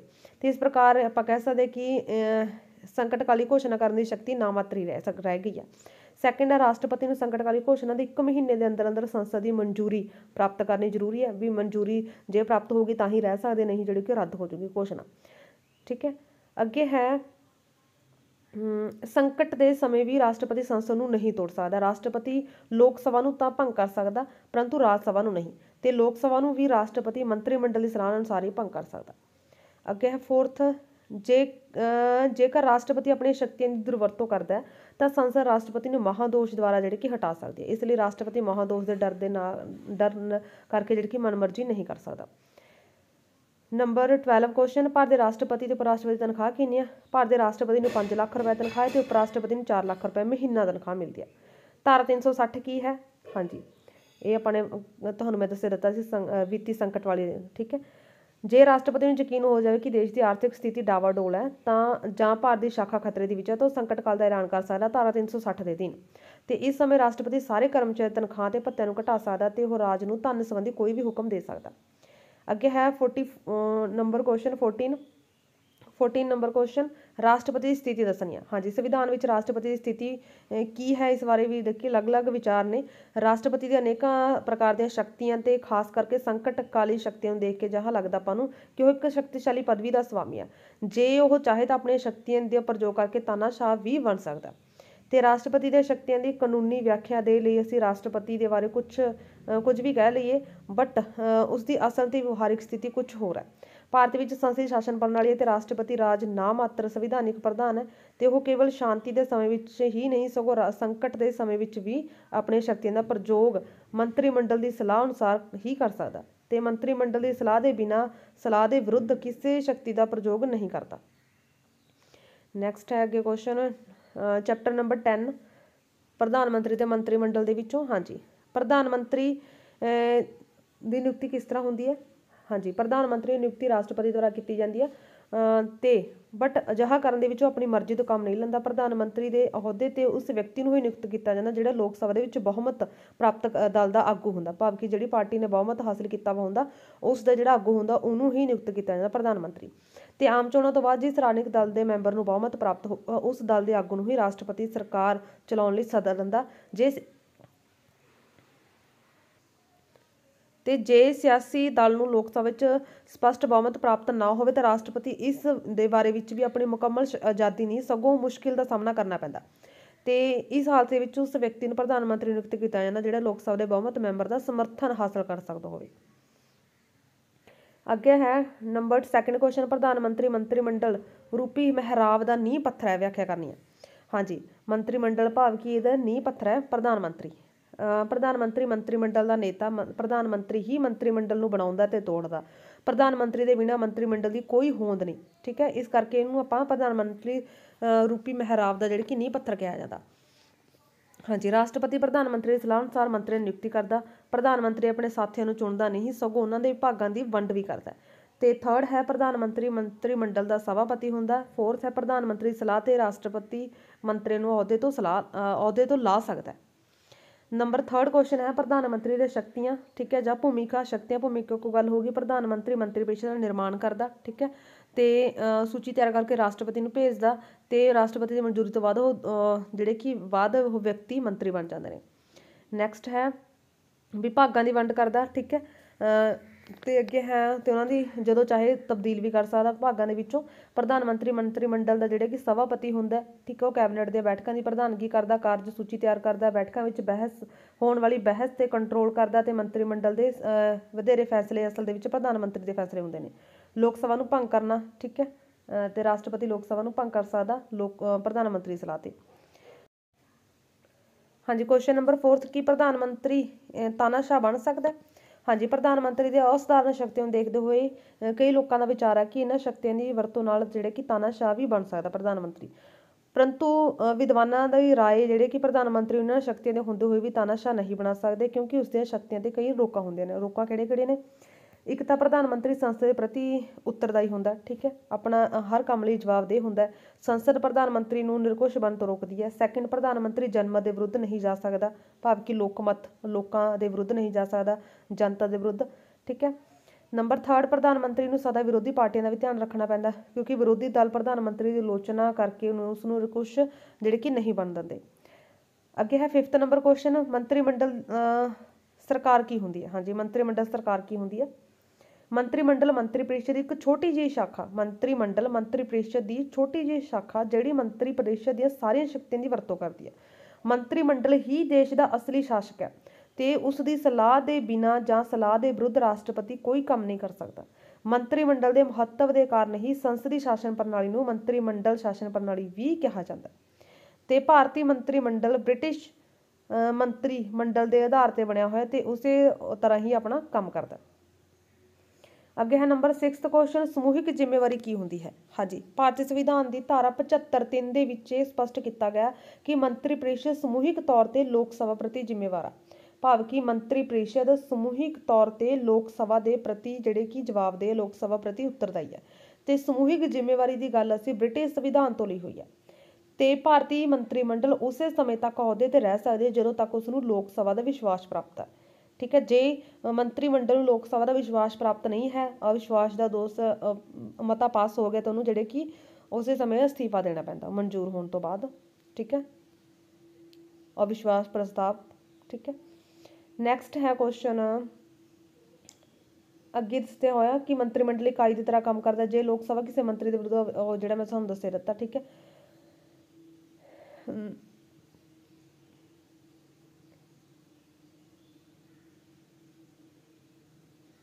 ਹਾਂਜੀ ਅੱਗੇ ਹੈ।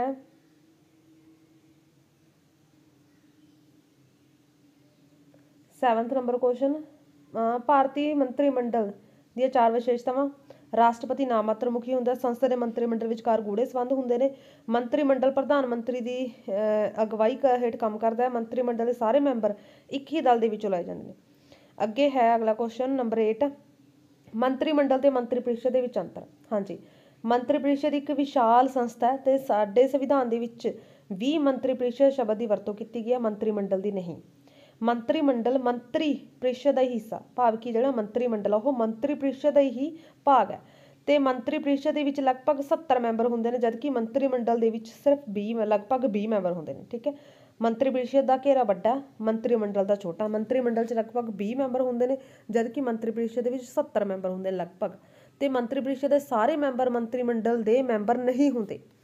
ਮੰਤਰੀ ਪਰਿਸ਼ਦ ਦੇ ਵਿੱਚ ਸਾਰੇ ਜਿਹੜੇ ਮੰਤਰੀ ਹੁੰਦੇ ਨੇ, ਉਹ ਜਦਕਿ ਮੰਤਰੀ ਮੰਡਲ ਦੇ ਵਿੱਚ ਕੇਵਲ ਮਹੱਤਵਪੂਰਨ ਮੰਤਰੀ ਹੁੰਦੇ ਨੇ। ਮੰਤਰੀ ਪਰਿਸ਼ਦ ਦੇ ਵਿੱਚ ਸਾਰੇ ਮੰਤਰੀ ਹੋਗੇ ਬਟ ਮੰਤਰੀ ਮੰਡਲ ਦੇ ਵਿੱਚ ਕੇਵਲ ਮਹੱਤਵਪੂਰਨ ਹੁੰਦੇ ਨੇ। ਤੇ ਮੰਤਰੀ ਪਰਿਸ਼ਦ ਦੀਆਂ ਬੈਠਕਾਂ ਘੱਟ ਹੁੰਦੀਆਂ ਨੇ ਜਦਕਿ ਮੰਤਰੀ ਮੰਡਲ ਦੀਆਂ ਬੈਠਕਾਂ ਹਫ਼ਤੇ ਦੇ ਵਿੱਚ ਆਮ ਤੌਰ ਤੇ ਇੱਕ ਵਾਰ ਲਾਜ਼ਮੀ ਤੌਰ ਤੇ ਹੋ ਜਾਂਦੀਆਂ ਨੇ। ਤੇ ਮੰਤਰੀ ਮੰਡਲ ਮੰਤਰੀ ਪਰਿਸ਼ਦ ਤੋਂ ਵੱਧ ਮਹੱਤਵਪੂਰਨ ਹੈ। ਠੀਕ ਹੈ, ਮੰਤਰੀ ਮੰਡਲ ਬੇਸ਼ੱਕ ਉਹਦੇ ਮੈਂਬਰ ਘੱਟ ਨੇ ਬਟ ਜ਼ਿਆਦਾ ਮਹੱਤਵਪੂਰਨ ਹੈ ਮੰਤਰੀ ਪਰਿਸ਼ਦ ਤੋਂ। ਕਿਉਂਕਿ ਸਾਰੀਆਂ ਮਹੱਤਵਪੂਰਨ ਨੀਤੀਆਂ ਦੀ ਬੰਤਰ ਮੰਤਰੀ ਮੰਡਲ ਦੁਆਰਾ ਹੀ ਹੁੰਦੀ ਹੈ। ਅੱਗੇ ਹੈ ਕੁਐਸਚਨ ਨੰਬਰ 9 ਪ੍ਰਧਾਨ ਮੰਤਰੀ ਦੀ ਸਥਿਤੀ ਕੀ ਹੈ?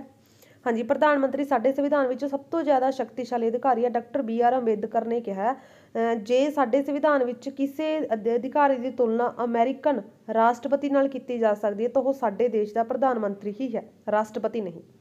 ਕਿਉਂਕਿ ਜਿਹੜਾ ਕਿ ਪ੍ਰਧਾਨ ਮੰਤਰੀ ਨੂੰ ਅਸਲੀ ਕਾਰਜਪਾਲਿਕਾ, ਮੰਤਰੀ ਮੰਡਲ ਅਸਲੀ ਕਾਰਜਪਾਲਿਕਾ ਦਾ ਜਿਹੜੇ ਕਿ ਨੇਤਾ ਹੁੰਦਾ ਪ੍ਰਧਾਨ ਮੰਤਰੀ। ਤੇ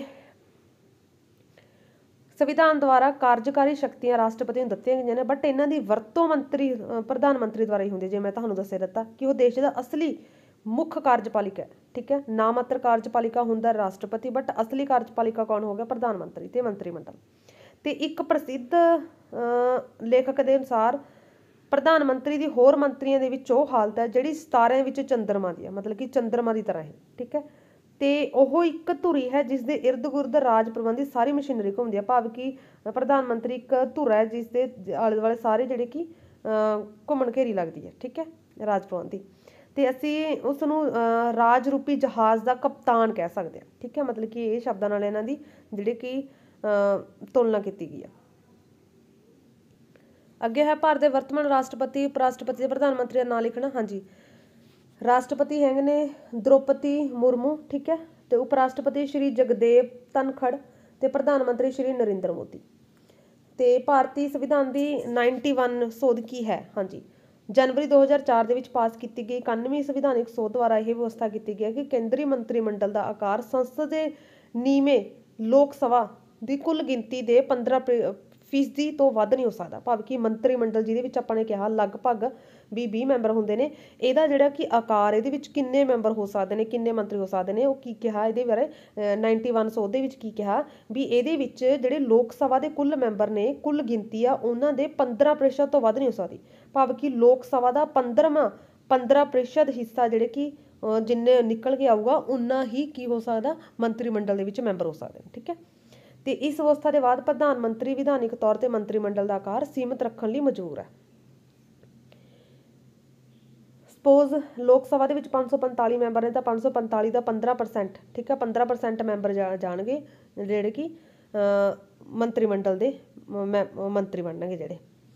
ਅਗਲਾ ਹੈ ਨੰਬਰ 12 ਕੈਬਨਿਟ ਦੀ ਮੰਤਰ ਦੱਸਣੀ ਹੈ। ਹਾਂਜੀ, ਪ੍ਰਧਾਨ ਮੰਤਰੀ ਦੀ ਨਿਯੁਕਤੀ ਰਾਸ਼ਟਰਪਤੀ ਕਰਦਾ ਤੇ ਪ੍ਰਧਾਨ ਮੰਤਰੀ ਦੀ ਸਲਾਹ ਤੇ ਹੀ ਮੰਤਰੀ ਪ੍ਰੀਸ਼ਦ ਤੇ ਹੋਰ ਮੈਂਬਰਾਂ ਦੀ ਨਿਯੁਕਤੀ ਰਾਸ਼ਟਰਪਤੀ ਕਰਦਾ। ਠੀਕ ਹੈ? ਮੰਤਰੀ ਪ੍ਰੀਸ਼ਦ ਤੇ ਹੋਰ ਮੈਂਬਰਾਂ ਦੀ ਨਿਯੁਕਤੀ ਰਾਸ਼ਟਰਪਤੀ ਕਰਦਾ, ਪ੍ਰਧਾਨ ਮੰਤਰੀ ਸਲਾਹ ਤੇ। ਤੇ ਪ੍ਰਧਾਨ ਮੰਤਰੀ ਦੀ ਨਿਯੁਕਤੀ ਰਾਸ਼ਟਰਪਤੀ ਆਪਣੀ ਮਰਜ਼ੀ ਅਨੁਸਾਰ ਨਹੀਂ ਕਰਦਾ, ਉਹ ਕਰਦਾ ਹੈ ਜਿਸ ਨੂੰ ਲੋਕ ਸਭਾ ਦੇ ਵਿੱਚ ਬਹੁਮਤ ਹਾਸਲ ਹੋਵੇ। ਤਾਂ ਪ੍ਰਧਾਨ ਮੰਤਰੀ ਮੰਤਰੀ ਦੀਆਂ ਸੂਚੀਆਂ ਤਿਆਰ ਕਰਦਾ, ਰਾਸ਼ਟਰਪਤੀ ਉਸੇ ਸੂਚੀ ਅਨੁਸਾਰ ਮੰਤਰੀ ਨਿਯੁਕਤ ਕਰਦਾ। ਇਹ ਸਾਰੀ ਕੀ ਹੋਗੀ ਕੈਬਨਿਟ ਹੋਗੀ ਭਾਵ ਕਿ ਪਹਿਲਾਂ ਪ੍ਰਧਾਨ ਮੰਤਰੀ ਦੀ ਨਿਯੁਕਤੀ ਕੌਣ ਕਰਦਾ? ਰਾਸ਼ਟਰਪਤੀ ਕਰਦਾ ਤੇ ਫਿਰ ਪ੍ਰਧਾਨ ਮੰਤਰੀ ਸਲਾਹ ਦਿੰਦਾ ਵੀ ਕਿਹੜੇ ਕਿਹੜੇ ਮੰਤਰੀ ਨੂੰ ਤੁਸੀਂ ਜਿਹੜੇ ਕਿ ਬਾਕੀ ਸੂਚੀ ਦਰਜ ਕਰਦਾ ਕਿ ਕਿਹਨੂੰ, ਜਿਹੜੇ ਕਿ ਕੀ ਕੀ ਅਹੁਦਾ ਦੇਣਾ ਠੀਕ ਹੈ? ਤੇ ਫਿਰ ਉਹ ਜਿਹੜੇ ਕਿ ਨਾਮ ਰეკਮੈਂਡ ਕਰਦਾ ਪ੍ਰਧਾਨ ਮੰਤਰੀ, ਫਿਰ ਉਹਨਾਂ ਤੇ ਮੋਹਰ ਕੌਣ ਲਗਾ ਦਿੰਦਾ ਸੂਚੀ ਤੇ? ਰਾਸ਼ਟਰਪਤੀ। ਅੱਗੇ ਹੈ ਸਰਵਉੱਚ ਨੈਕਸਟ ਚੈਪਟਰ ਦੇ। ਅਗਲਾ ਹੈਗਾ ਸਰਵਉੱਚ ਅਦਾਲਤ, ਦਾ ਸੁਪਰੀਮ ਕੋਰਟ ਵਾਲਾ। ਭਾਰਤੀ ਸਰਵਉੱਚ ਅਦਾਲਤ ਦਾ ਜੱਜ ਬਣਨ ਲਈ ਕੀ ਕੀ ਯੋਗਤਾਵਾਂ ਹੋਣੀਆਂ ਚਾਹੀਦੀਆਂ ਨੇ? ਭਾਰਤ ਦਾ ਨਾਗਰਿਕ ਹੋਵੇ, ਘੱਟੋ ਘੱਟ 5 ਸਾਲ ਤੱਕ ਕਿ ਇੱਕ ਜਾਂ ਇੱਕ ਤੋਂ ਵੱਧ ਹਾਈ ਕੋਰਟ ਦੇ ਵਿੱਚ ਜੱਜ ਦੇ ਅਹੁਦੇ ਤੇ ਰਹਿ ਚੁੱਕਿਆ ਹੋਵੇ।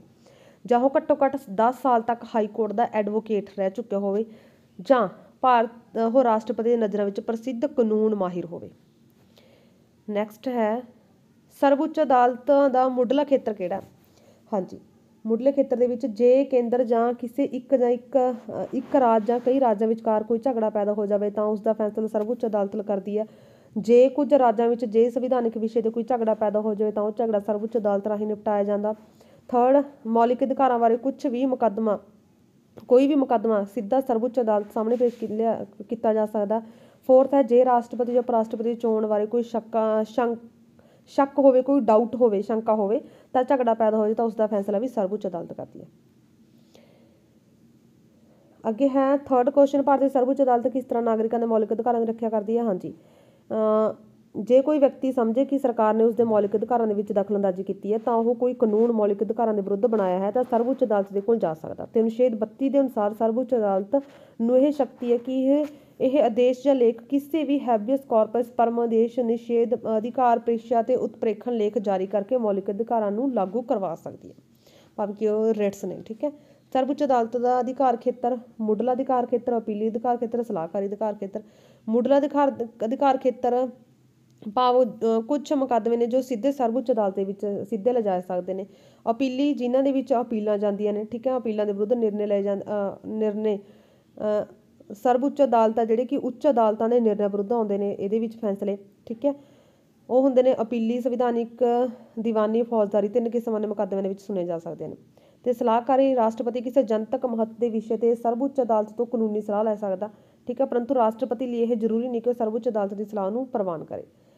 ਨੰਬਰ 5th ਸਰਵਉੱਚ ਅਦਾਲਤ ਭਾਰਤੀ ਸੰਵਿਧਾਨ ਦੀ ਰੱਖਿਆ ਕਰ ਟਿੱਪਣੀ ਕਰੋ। ਹਾਂਜੀ, ਭਾਰਤੀ ਸੰਵਿਧਾਨ ਦਾ ਸਰਵਉੱਚ ਕਾਨੂੰਨ ਸੰਵਿਧਾਨ ਭਾਰਤ ਦਾ ਸਰਵਉੱਚ ਕਾਨੂੰਨ ਹੈ ਕਿ ਕੋਈ ਵੀ ਵਿਅਕਤੀ, ਸਰਕਾਰੀ ਕਰਮਚਾਰੀ, ਅਧਿਕਾਰੀ ਜਾਂ ਸਰਕਾਰ ਦਾ ਕੋਈ ਵੀ ਅੰਗ ਇਸ ਦੇ ਵਿਰੁੱਧ ਕੰਮ ਨਹੀਂ ਕਰ ਸਕਦਾ, ਸੰਵਿਧਾਨ। ਠੀਕ ਹੈ, ਭਾਰਤ ਦਾ ਸਰਵਉੱਚ ਕਾਨੂੰਨ ਹੈ।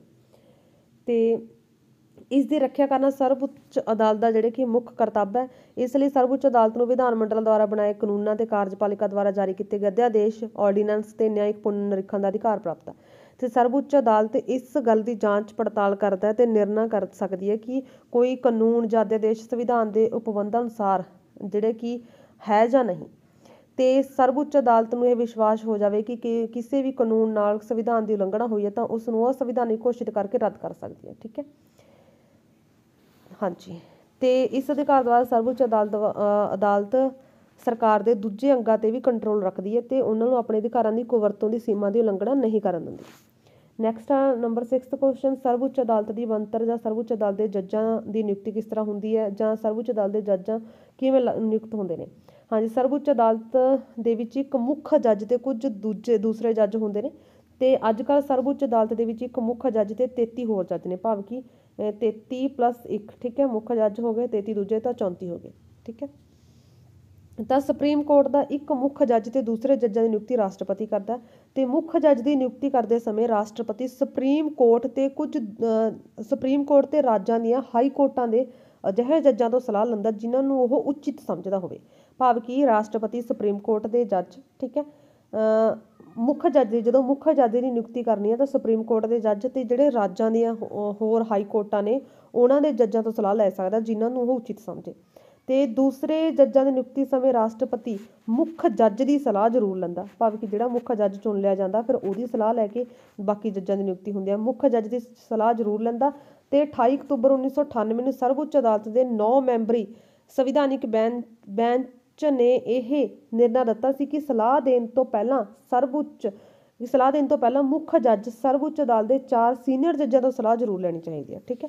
ਤਾਂ ਸਲਾਹਕਾਰ ਮੰ- ਮੰਡਲ ਦੀ ਰਾਏ ਤੇ ਮੁੱਖ ਜੱਜ ਦੀ ਰਾਏ ਤੱਕ ਜਦ ਤੱਕ ਇੱਕ ਨਾ ਹੋਵੇ ਜਦ ਤੱਕ ਸਿਫਾਰਿਸ਼ ਨਹੀਂ ਕਰਨੀ ਚਾਹੀਦੀ। ਭਾਵ ਕਿ ਜਿਹੜਾ 1998 ਦੇ ਵਿੱਚ ਸੀ ਇਹਦੇ ਅਕੋਰਡਿੰਗ ਕੀ ਸੀ ਕਿ 9 ਮੈਂਬਰਾਂ ਦੇ ਜਿਹੜੇ ਬੈਂਚ ਹੋਏ ਸੀ ਇਹਨੇ ਇਹ ਨਿਰਣਾ ਲਿਆ ਸੀ ਕਿ ਜਿਹੜੇ ਕਿ ਅਹ, ਜਦੋਂ ਜੱਜਾਂ ਦੀ ਨਿਯੁਕਤੀ ਕਰਨੀ ਹੈ ਤਾਂ ਮੁੱਖ ਜੱਜ ਠੀਕ ਹੈ? ਪਹਿਲਾਂ ਮੁੱਖ ਜੱਜ ਸਰਵਉੱਚ ਅਦਾਲਤ ਦੇ ਚਾਰ ਸੀਨੀਅਰ ਜੱਜਾਂ ਤੋਂ ਸਲਾਹ ਜ਼ਰੂਰ ਲਵੇ। ਮਤਲਬ ਕਿ ਚਾਰ ਮੁੱਖ ਸੀਨੀਅਰ ਜੱਜਾਂ ਤੋਂ ਸਲਾਹ ਜ਼ਰੂਰ ਲਵੇ ਠੀਕ ਹੈ?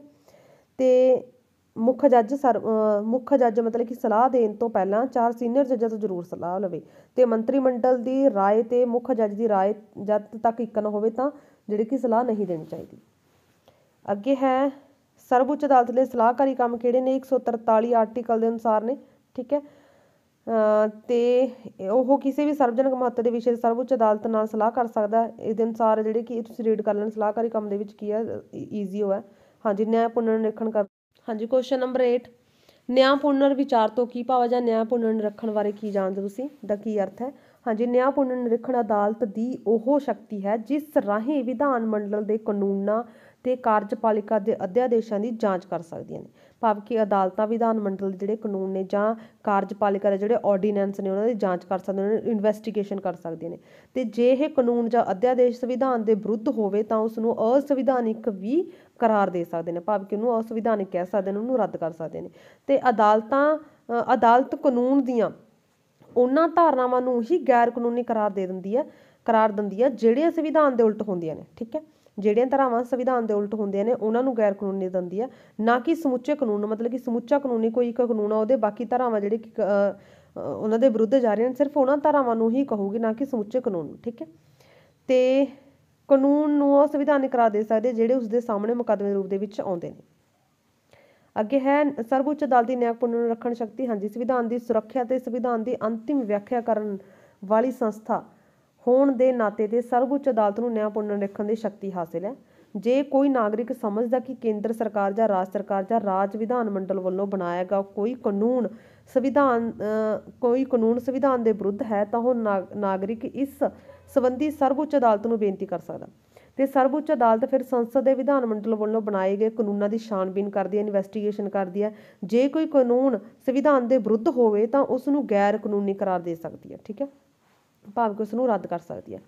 ਤੇ 9 ਮਈ 1980 ਨੂੰ ਸਰਵਉੱਚ ਅਦਾਲਤ ਨੇ 42ਵੀਂ ਧਰਮ ਸੋਧ ਦੇ ਦੁਆਰਾ ਉਸ ਖੰਡ 55 ਨੂੰ ਰੱਦ ਕਰ ਦਿੱਤਾ ਸੀ, ਜਿਸ ਨੂੰ- ਜਿਸ ਵਿੱਚ ਸੰਸਦ ਨੂੰ ਸੰਵਿਧਾਨ ਵਿੱਚ ਸੋਧ ਕਰਨ ਦੇ ਅਸੀਮਿਤ ਅਧਿਕਾਰ ਦਿੱਤੇ ਗਏ ਸੀ। ਤੇ ਸਰਵਉੱਚ ਅਦਾਲਤ ਨੇ ਜ਼ਿਆਦਾਤਰ ਉਹਨਾਂ ਕਾਨੂੰਨਾਂ ਨੂੰ ਹੀ ਰੱਦ ਕੀਤਾ ਜਿਹੜੇ ਅਨੁਛੇਦ 14 19 31 ਦੀ ਉਲੰਘਣਾ ਕਰਦੇ ਨੇ ਠੀਕ ਹੈ? ਅੱਗੇ ਹੈ ਲੋਕ ਹਿੱਤ ਮੁਕੱਦਮੇਬਾਜ਼ੀ ਤੋਂ ਕੀ ਭਾਵ ਹੈ ਜਾਂ ਜਨ ਅ, ਜਨਹਿਤ ਜਾਚਿਕਾ ਤੋਂ ਕੀ ਭਾਵ ਲੈਂਦੇ ਤੁਸੀਂ? ਹਾਂਜੀ ਭਾਰਤ ਦੇ ਵਿੱਚ ਪਿਛਲੇ ਕੁਝ ਸਾਲਾਂ ਦੇ ਵਿੱਚ ਸਰਵਜਨਕ ਹਿੱਤ ਅਭਿਯੋਗ ਦੇ ਵਿੱਚ ਕਾਫੀ ਵਾਧਾ ਹੋਇਆ। ਸਰਵਜਨਕ ਹਿੱਤ ਅਭਿਯੋਗ ਇੱਕ ਅਜਿਹੀ ਵਿਧੀ ਹੈ ਜਿਸ ਦੇ ਦੁਆਰਾ ਕੋਈ ਵੀ ਵਿਅਕਤੀ ਸਰਵਜਨਕ ਹਿੱਤ ਨਾਲ ਸੰਬੰਧਿਤ ਅਭਿਯੋਗ ਅਦਾਲਤ ਦੇ ਵਿੱਚ ਦਾਇਰ ਕਰ ਸਕਦਾ। ਤੇ ਜੇ ਵਿਅਕਤੀ ਦਾ ਉਹ ਕੋਈ ਵੀ ਜਿਹੜਾ ਅਭਿਯੋਗ ਆ, ਉਹ ਸਿੱਧਾ ਸੰਬੰਧ ਸਿੱਧਾ ਸੰਬੰਧ ਹੋਣਾ ਜ਼ਰੂਰੀ ਨਹੀਂ ਠੀਕ ਹੈ? ਉਸ ਦੇ ਨਾਲ ਸਿੱਧਾ ਸੰਬੰਧ ਹੋਣਾ ਜ਼ਰੂਰੀ ਨਹੀਂ ਕੋਈ ਵੀ ਵਿਅਕਤੀ ਸਰਵਜਨਕ ਅਨਿਆਏ ਦੇ ਵਿਰੁੱਧ ਵੀ ਅਦਾਲਤ ਦੇ ਵਿੱਚ ਜਾ ਸਕਦਾ। ਤੇ ਇਸ ਲਈ ਜਦੋਂ ਕੋਈ ਵਿਅਕਤੀ ਵਿਅਕਤੀ ਸਮੂਹ ਜਾਂ ਸਰਵਜਨਕ ਹਿੱਤ ਦੇ ਵਿਸ਼ੇ ਨੂੰ ਜਾਚਕਾਂ ਦੁਆਰਾ ਅਦਾਲਤ ਦੇ ਸਾਹਮਣੇ ਪੇਸ਼ ਕਰਦਾ ਤਾਂ ਅਜਿਹੇ ਵਿਸ਼ੇ ਨੂੰ ਸਰਵਜਨਕ ਹਿੱਤ ਦੇ ਵਿਵਾਦ ਕਿਹਾ ਜਾਂਦਾ ਅੱਗੇ ਹੈ ਨਿਆਇਕ ਐਕਟਿਵਿਜ਼ਮ ਕੀ ਹੈ? ਐਕਟਿਵਿਜ਼ਮ ਕੀ ਹੈ ਜਾਂ ਨਿਆਂ ਸ- ਕੀ ਹੈ? ਹਾਂਜੀ, ਭਾਰਤੀ ਸੰਵਿਧਾਨ ਦੇ ਅਧੀਨ ਸੁਤੰਤਰ ਨਿਆਂਪਾਲਿਕਾ ਦੀ ਵਿਵਸਥਾ ਕੀਤੀ ਗਈ ਹੈ ਤਾਂ ਕਿ ਜੱਜ ਨਿਰਪੱਖ ਤੇ ਨਿਰਭੈਰਤਾ ਦੇ ਨਾਲ ਨਿਆਂ ਕਰ ਸਕਣ।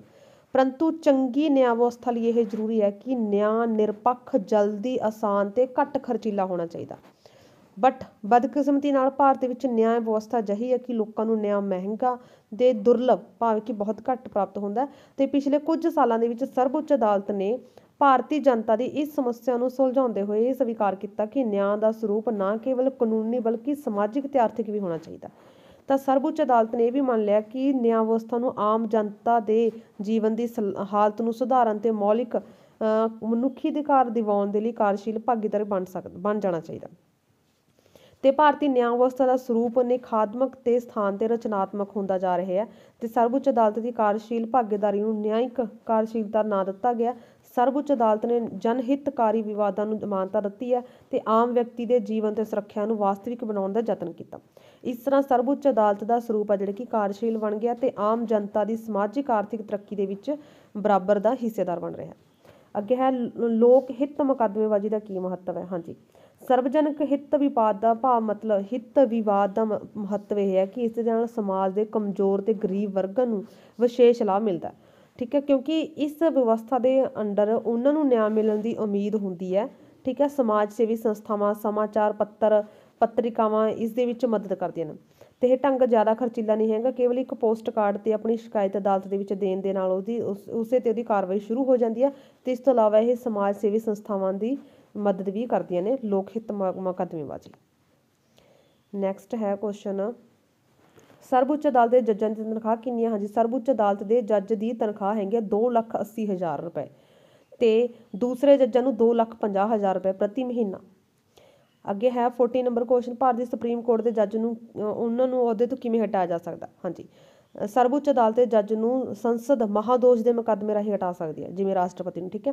ਤਾਂ ਜੱਜ ਨੂੰ ਅਯੋਗਤਾ ਤੇ ਭ੍ਰਿਸ਼ਟ ਆਧਾਰ ਤੇ ਅਹੁਦੇ ਤੋਂ ਹਟਾਇਆ ਜਾ ਸਕਦਾ। ਸੰਸਦ ਦੇ ਦੋਵਾਂ ਸਦਨਾਂ ਵੱਖਰੇ ਵੱਖਰੇ ਬੈਠ ਕੇ ਆਪਣੇ ਸਾਰੇ ਮੈਂਬਰਾਂ ਤੋਂ ਸਪਸ਼ਟ ਬਹੁਮਤ ਨਾਲ ਜਾਂ ਹਾਜ਼ਰ ਮੈਂਬਰਾਂ ਦੇ ਬਹੁਮਤ ਨਾਲ ਕਿਸੇ ਵੀ ਜੱਜ ਨੂੰ ਪਦਵੀ ਤੋਂ ਹਟਾਏ ਜਾਣ ਦਾ ਮਤਾ ਪਾਸ ਕਰ ਦੇਣ, ਤਾਂ ਅਜਿਹੇ ਮਤੇ ਪਾਸ ਹੋਣ ਤੇ ਰਾਸ਼ਟਰਪਤੀ ਸੰਬੰਧਿਤ ਜੱਜ ਨੂੰ ਉਸਦੀ ਪਦਵੀ ਤੋਂ ਹਟਾ ਸਕਦਾ ਹੈ। ਇਹ ਸੀ ਤੁਹਾਡੇ important questions thanks part A and B ਦੇ।